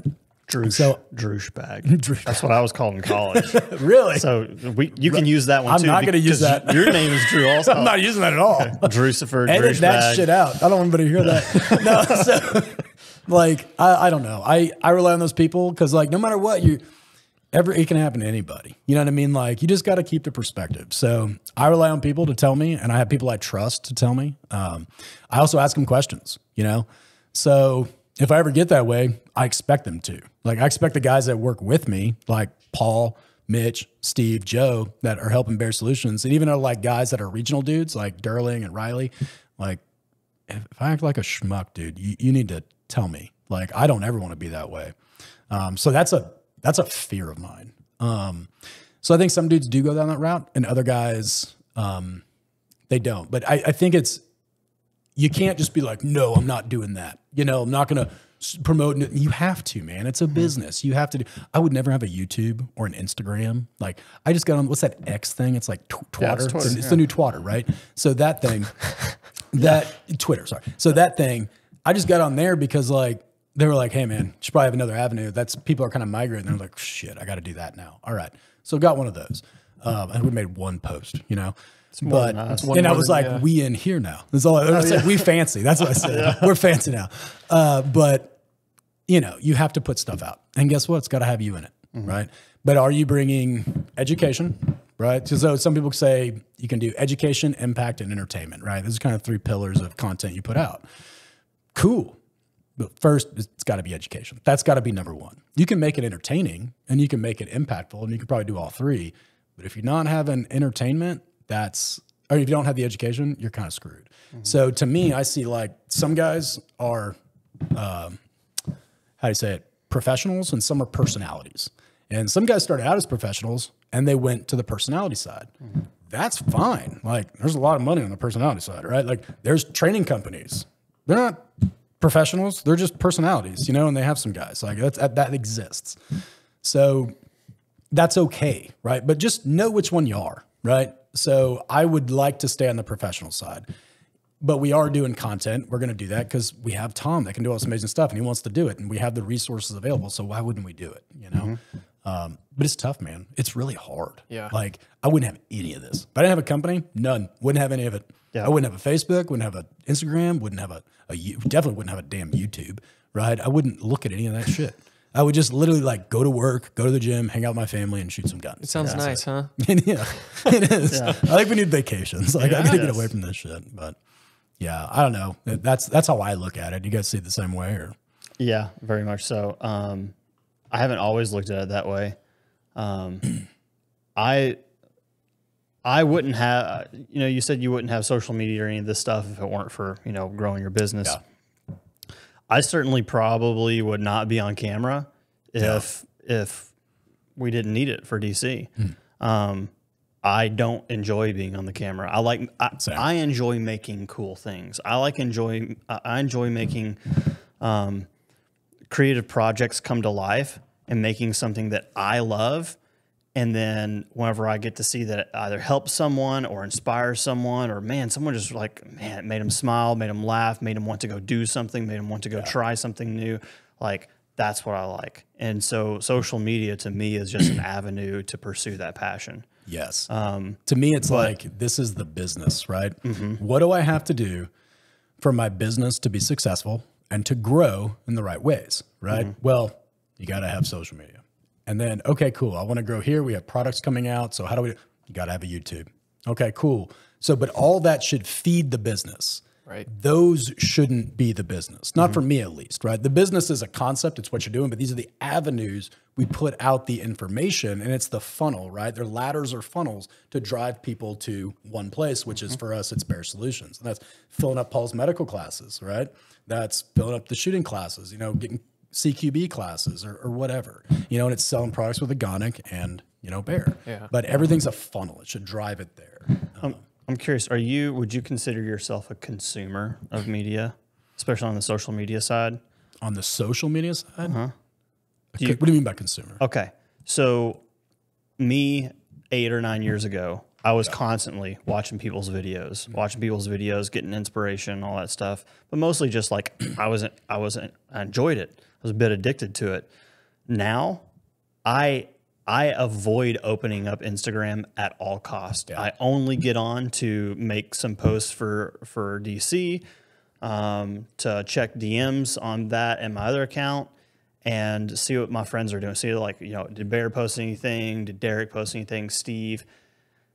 And that's about it. I mean, I'll look at comments and stuff, but like, I very rarely doom scroll, and I feel like a lot of people. Um, I'm I'm glad there's a ton of people out there that consume content. Oh, yeah. After all, none of us would have go livelihoods. yeah. Exactly. Um, but I'm just like way more purposeful in how I consume now. Whereas just being a general consumer of just like I want to watch everything. So Yeah, I get caught. I go down the rabbit hole on things. do you doom scroll? I don't know. I don't know what you mean by that, but just like you just get locked in and just keep going and That's going. doom scrolling, Yeah, okay. yeah. Yeah. I'll go down that rabbit hole a little bit. Yeah. But I do it on weird things. Like, Like- you look at my accounts, like what do I follow? And you're like, okay, it follows this, this, and there's some shooting stuff in there. You know, like I like there's some like really cool guys I like to watch shoot. Mm-hmm. Like uh, Isaac Lockwood from Shooting, Training, Competing. Like I love watching that guy shoot. Mm-hmm. Uh, I like watching JJ shoot. There's a couple other guys too. Like man, th- those guys I like watching them do their thing. Yeah. Mm-hmm. You know, I just learn from watching them do stuff.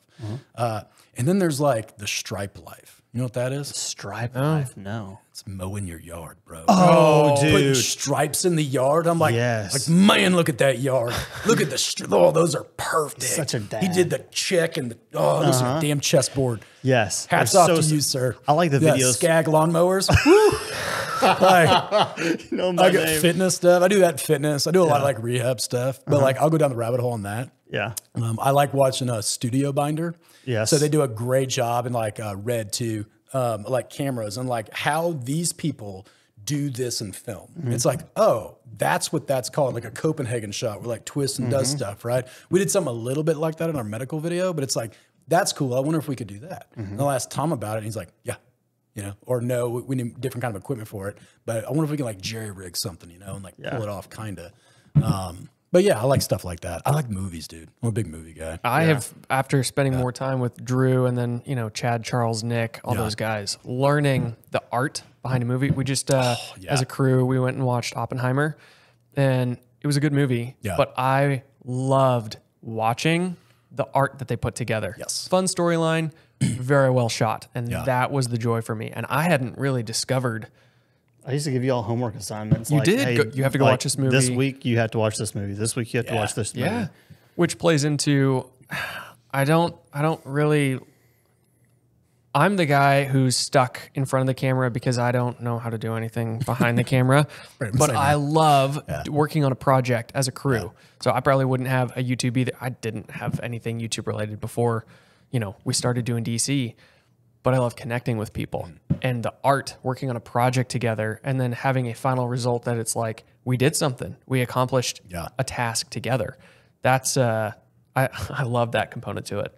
Yeah. Once you once you start learning about that and like especially doing this, do you ever look at oh that cut to here and then this scene and like how they're putting this together and how they're getting a certain effect with the camera? Or Like, they're it's neat. breaking rules that Yeah. that wasn't supposed to happen. They, they weren't even Yeah. they weren't supposed to do that. I love when they break rules. Yes. they go Yeah, against me stuff, too. right? Yes. Like to break the rules, you got to know them really well. Exactly. First, you know? I tell my daughter that I'm like, hey, before you break the rules, you better know them really well. You know, I was like, mm-hmm. there's gonna go time and place, baby. where You're gonna break a ton of rules in life, but you got to know them really well first. So you know when to do it. Right. And she's like, okay. And the other day she was like, she did what the hell did she do? She did something. She was like, well, I felt like it was right to break the rules. I was like, oh. I go, oh. okay, all right. I go, let's talk about that. And she was telling me, I was like, yeah, that wasn't it. You know, we had dialed it a little bit. She was like, yeah. I go, okay. She's learning. She's good. But uh, no, I like that too. I like watching and seeing how they put stuff together. Tom's opened up my eyes to a lot of that. It was like movies, but now it's like, oh, that's interesting how they achieved that effect. Does he play the find the light game with you, where you look, you just look at a scene, take like a Oh, screen how they lit grab, and you ask yourself, "Where's the light coming from?" Ah, no. And then you can start to piece together. You can, you know, basically recreate yeah. the set in your mind at what you know. So That's interesting. yeah, that, that's good. Him just telling me that, I was like, "Oh yeah, Yeah. think about that." Fair enough. It's good for me to know where those lights are that I don't even know how to set up. That- yeah. yeah. but I can tell Nick like, "Hey, let's." He knows what he's doing. Yeah. Nick, you doing good over there? Yeah, I had to unmute my mic. Do you, uh, since you're here too, do you have any questions you've thought of for Drew? I do. They're very random, but where did the name Baer Solutions come from and Agonic and what's like the meaning on the logo for Baer? So I had a guy make the logo, told him what I wanted, and that's what he came out with. I was like, yeah, that, that was pretty much it and better. So we got that. Um, so Baer, it's spelled B A E R. Do you know how many e- fucking emails I get from people being like, Haha, did you know you spelled bear wrong? I'm like, oh, Oh. no, please. What? When did this happen? Like, like Jesus, dude. Did, did you purchase BEAR Solutions LLC.com also? No, Just for should. people who do misspell it and I it should probably do redirects. Yeah. Maybe I did. I think I have like ten different ones. I should get on there. You should run it for a year. I'm gonna see do how that many forwards you before you, you guys post this, so someone else doesn't rush out and get it. Yeah. Um, Yeah, so Bear, uh, if I had a son, so what I usually tell people is, I'm like, why is it spelled back wrong? I'm like, dude, I was doing my FEIN, you know, like registering as a business, and it was a typo, and I just didn't fix it, so I kept it. So that's what I that's what I usually uh, yeah. That's it's like if I don't want to tell you the whole story, like, and you're just kind of being a a real Mick Mick douchebag yeah. uh, I'm kind of like whatever. I don't feel like I'll tell people that. Yeah. Um, but really, what it was was one. If we had a son, we were going to name him Bear. That's how I was going to name it. Right. So I really like that name. Uh, we had a daughter. That's what God gave us, and she's been awesome, and I'm I'm very grateful for that. Uh, so I named the company Baer. Uh, two. We well, I was on Bravo Cell. That was my like when I was that last uh, team I was on, our company, the CIF company. We set up like an assault troop. I was on B Cell, Bravo Cell, and uh, for some reason we were like, ah, bear cell. I don't know. It was funny. But mainly because the guys on Alpha Cell, like, okay, it- this might be not safe for work, but like, those those guys were like uncircumcised. So we called them uh, anteater cell, and they were like, we were like joking around, and then we gave like every cell names, and they were like, "That's a stupid." We thought it was pretty funny. It was funny for us, not for the other guys. Yes, that is But uh, we made little patches. I actually have one in my truck. I think I can show you, but it's a bear and it has my cell tag on it. Uh, we bait him while we were overseas, like, but yeah, it kind of came from that. And then uh, I love that that team uh, with Hambone and uh, J Bar, like really good dudes, man. I learned a lot from J Bar, and Hambone's a really good dude. Um, and then bears are the only.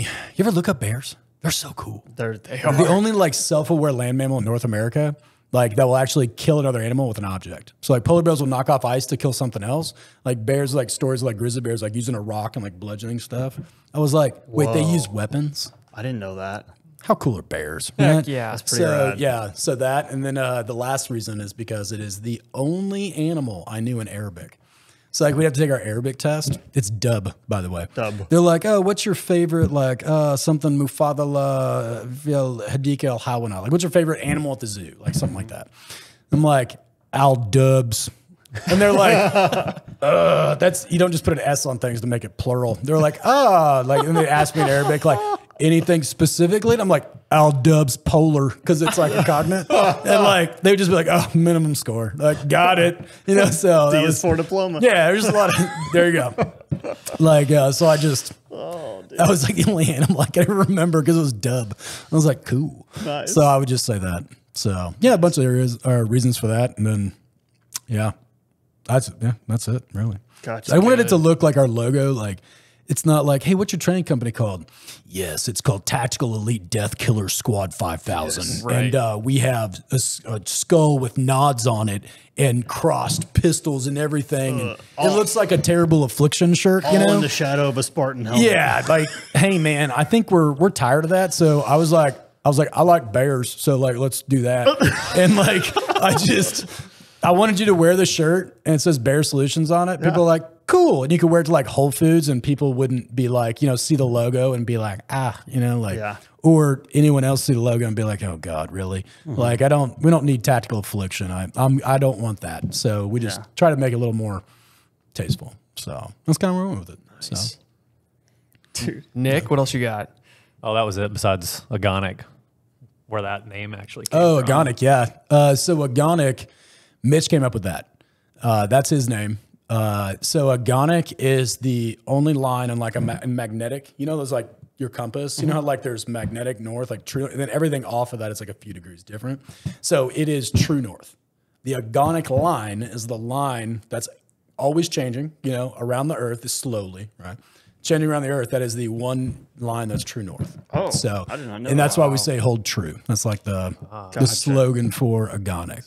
So when he said that, I was like, yeah, dude, That's it. Get that shit. Like, let's go. Yeah. So let's do cool. it. Yeah, man. That's pretty much it. Well, I have one final question for you. Someone, someone on Patreon. That's Uh, the most important question. yes, You'll answer. We could have started with this, but we wanted to save the best for last. Okay. Oh, this is a funny. Oh, Yeah. Well, it's a zinger. Like, d- uh, do you follow F1 at all? yeah. Okay. Yeah. So this guy must know that. So he was curious. Who's your favorite F1 team and your favorite F1 driver and why? Okay. I I kind of like all of them, right? Because the thing I like about F1 is it's about the car. It's about the team and what they build. Like you could put like fucking Alex Albon, right? You can take him who's like, you know, 10th or something like that and put him in a Red Bull. Well, guess what? He's as good as Verstappen. They're pretty damn close. You know what I mean? Um, but I like, I kind of like all of it. My two teams that I like a lot, one is Williams Racing. I like Williams a lot. And I like that Logan Sargeant, there's an American on the team, but I liked him before that. I want I want Williams to come back and get good. Right. And hopefully they do. I think they're investing more in it. They've got some new people involved in it. Um, hopefully they will over the next, you know, decade. Um, I like Williams a lot. And um, I like Red Bull because they don't give a shit. Nope. If you perform, you're in. If you suck, you're out. Everybody else can suck it. And they don't care and they're winners. And if you don't like that, well, fuck off, dude. Yep. Um, I don't. I'm not really a fan. I like the drivers for Ferrari. I like. For, I want to like Ferrari, but to me, they're kind of like they're like UT, like University of Texas, like the Longhorns. Everyone's like they're the best. They suck, and they're overrated every year. Okay, they're not good. They're like, but they're no, they're not. But they got no, they're not. They're gonna disappoint you every year. Right. That's Ferrari, right? Like at least recently. Um, and then yeah, I like Red Bull and I like uh, uh, Williams a lot. There's just dry. I mean, I kind of like all of them, really. I kind of get sick of like, there's a few of them. Uh, what's that? You know, that are, you know, um, his name rhymes with, I think it's Lewis Hamilton. That's kind of a whiny bitch. But like, other than that, like, I'm tired of hearing that dude. Like, he got, come, they're, they're prima donna, you know, They had all the money tiny that little they were dudes that yeah, cars. and then all in this car, and they have one sole focus. So like, yes, they're gonna be a little, you know, uptight about shit and stuff. Like, we got it, but, um, yeah, I'm not. I respect him as a driver, great driver. Don't get me wrong, uh, but like, I could do without. You know what I mean? how, do, how do you feel about the cap that they put what two years ago on each team can only spend so much money on like at the end of the year? Because Yeah. that's when previously Verstappen had beaten Lewis Hamilton, which was like that was an incredible season. Right. But then now they have a cap, and Verstappen is just you know taking it out of the park. Whereas all of a sudden Lewis Hamilton is like, oh, you're you're a really good driver, of course, Yeah, but but you do can't not buy have wins. exactly. I like that. I like that they're capping it. Um, I think, I think it. You don't just go who spent the most. It's not like an election, right? Who spent the most money? Right. Oh, well, they're going to win. Like Mm-hmm. I don't. We don't want that. We want to see like, hey, at least like you should be able to do what you want to do, but like to a point, and then everything under that's fair game. I think that's cool. I like that concept. Yeah. And I'm not the, the most, you know, F1 guy and all this, but I got the little app and I follow it and like I Oh, try. then I the- love the show, you know, and I follow it like once in a while. But I don't look at it every day, but I kind of keep up on it. You know, when I think about it, like I'm gonna check and see what's going on. I really want to go to a race. I was going to uh, ask you. I want to go to a race. I mean, so there's bad. one in Austin.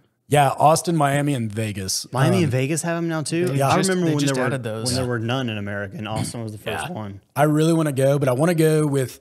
I want to take my little brother. I want him him to go with me because he kind of got me into F1. Mm-hmm.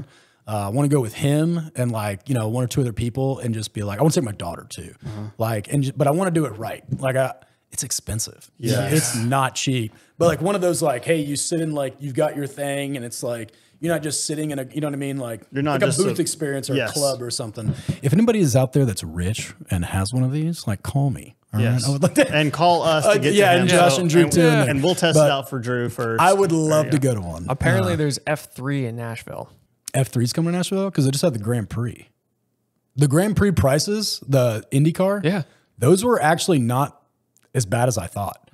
For 120 bucks, you can get four tickets for your family. Oh, But you're That's cheap. Yeah, but if you want to do the the club suite, like you're gonna go in the suites, uh-huh. it was eight hundred and fifty dollars. But food catered by like barbecue and some Mexican taco place, free drinks. You have couches, you have TVs, climate controlled. I was like, wait, what? And that's for how many days? I think it was like all it- was it I all think three it's three or four days, yeah. that was 800 bucks for four days. eight hundred fifty bucks for, four per person. I was like, when you factor it in, like that's a lot of money, but that's some good value. Mm-hmm. So I really wanted to go, but it was raining that weekend, and I was like, Fuck. so crazy. I want to go to an F one race really bad. Yeah. So, I, so I want to go down the pits. I want to. I want to get down there. Josh and I want to go to one too. So Agreed. Yeah, let's do it. No one asked me if I wanted to go, but I would like to go Oh, too. oh, Joe, Joe would with love us. to go. Joe Neal, dude. I would love to go with him. yes, It's Joe been a be long time since the three of You know us. what Joe is? He'd walk right up in the pits like walking like he looks like a damn dinosaur when he Yeah. walks, like a little, a little T Rex. He's like, "Hey man, what you doing? What's Yeah. that?" You know, and like everybody just likes Joe. Like Yeah. he'll be before you know it, him and Verstappen would be laughing. You know, Yeah. and he'd be like, "Oh yeah," like, wait, what? What do you? How the how the hell did that happen? You'll you see him behind the wheel. Yeah, he's like, ah, "Mind if I sit in your car?" And I'll be like, "Get in there," you know, like. Yeah. Like, hilarious. But yeah, but like Joe, get my brother Kevin to go. I bet that's something I really want to take my daughter to. Like, Yeah. just got like a group and like, hey, get one of those things and Mm-hmm. like my wife and daughter. My daughter would have the best time. She would effing love it. Yeah. She would so love it. So she loves cars. She loves stuff like that. It's awesome. That's good. I gotta say, she's just a cool kid. Yeah. I'm pretty proud of what my wife and I have done with that little child. Yeah. So I'm trying not to mess it up, you know? That's awesome. All we're trying to do is Yeah. not mess up. yeah. well, Well- Drew, thank you very much. We appreciate your time, man. Yeah, I did. I had a great time. and uh, baersolutionsllc.com. Yeah. And uh, what is your YouTube? We'll throw it up on the description. It's Baer Solutions on YouTube. Everything's Baer Solutions. so straight, straight up. website baersolutionsllc.com. Uh, Agonic is liveagonic.com. So L I V E A G O N I C.com. Instagram. Is just Instagram's Baer Baer Solutions. Solutions, YouTube's Baer Solutions, X is Baer Solutions, and then Agonic is just Agonic LLC on social media. Gotcha. So, yeah. Right on. Well, Other that, man. You got a lot you, of training uh, classes coming up, so We got to head out again tomorrow. I'm driving to. New Hampshire. I'll be with Ian in New Hampshire tomorrow. Oh, nice. And then. Buffalo, New York the next weekend. tell him we said hey. Yeah, dude. See if he's got any new uh, Viking tattoos on him. Yeah. Oh, yeah. Always. Yeah, and make him get a picture with you like Eastern Promises. He's so that So, guy. yeah. So cool win. Well, thank you for being here. Thank you for your friendship and for just everything that you do, man. Absolutely. Appreciate you guys. Thank you very much. Appreciate it, buddy. thank you. Appreciate you. Thanks, Nick. All right. Guys, today we are got you're messing me up. Combat deployments. They weren't all combat deployments. Before that, he went on seven deployments with fifth. Did he always go with fifth? Seven deployments to Iraq, Afghanistan. Where all did he go? Dude, where all did you go? Was it always with the fifth group? Were they all combat deployments? You guys, today we are.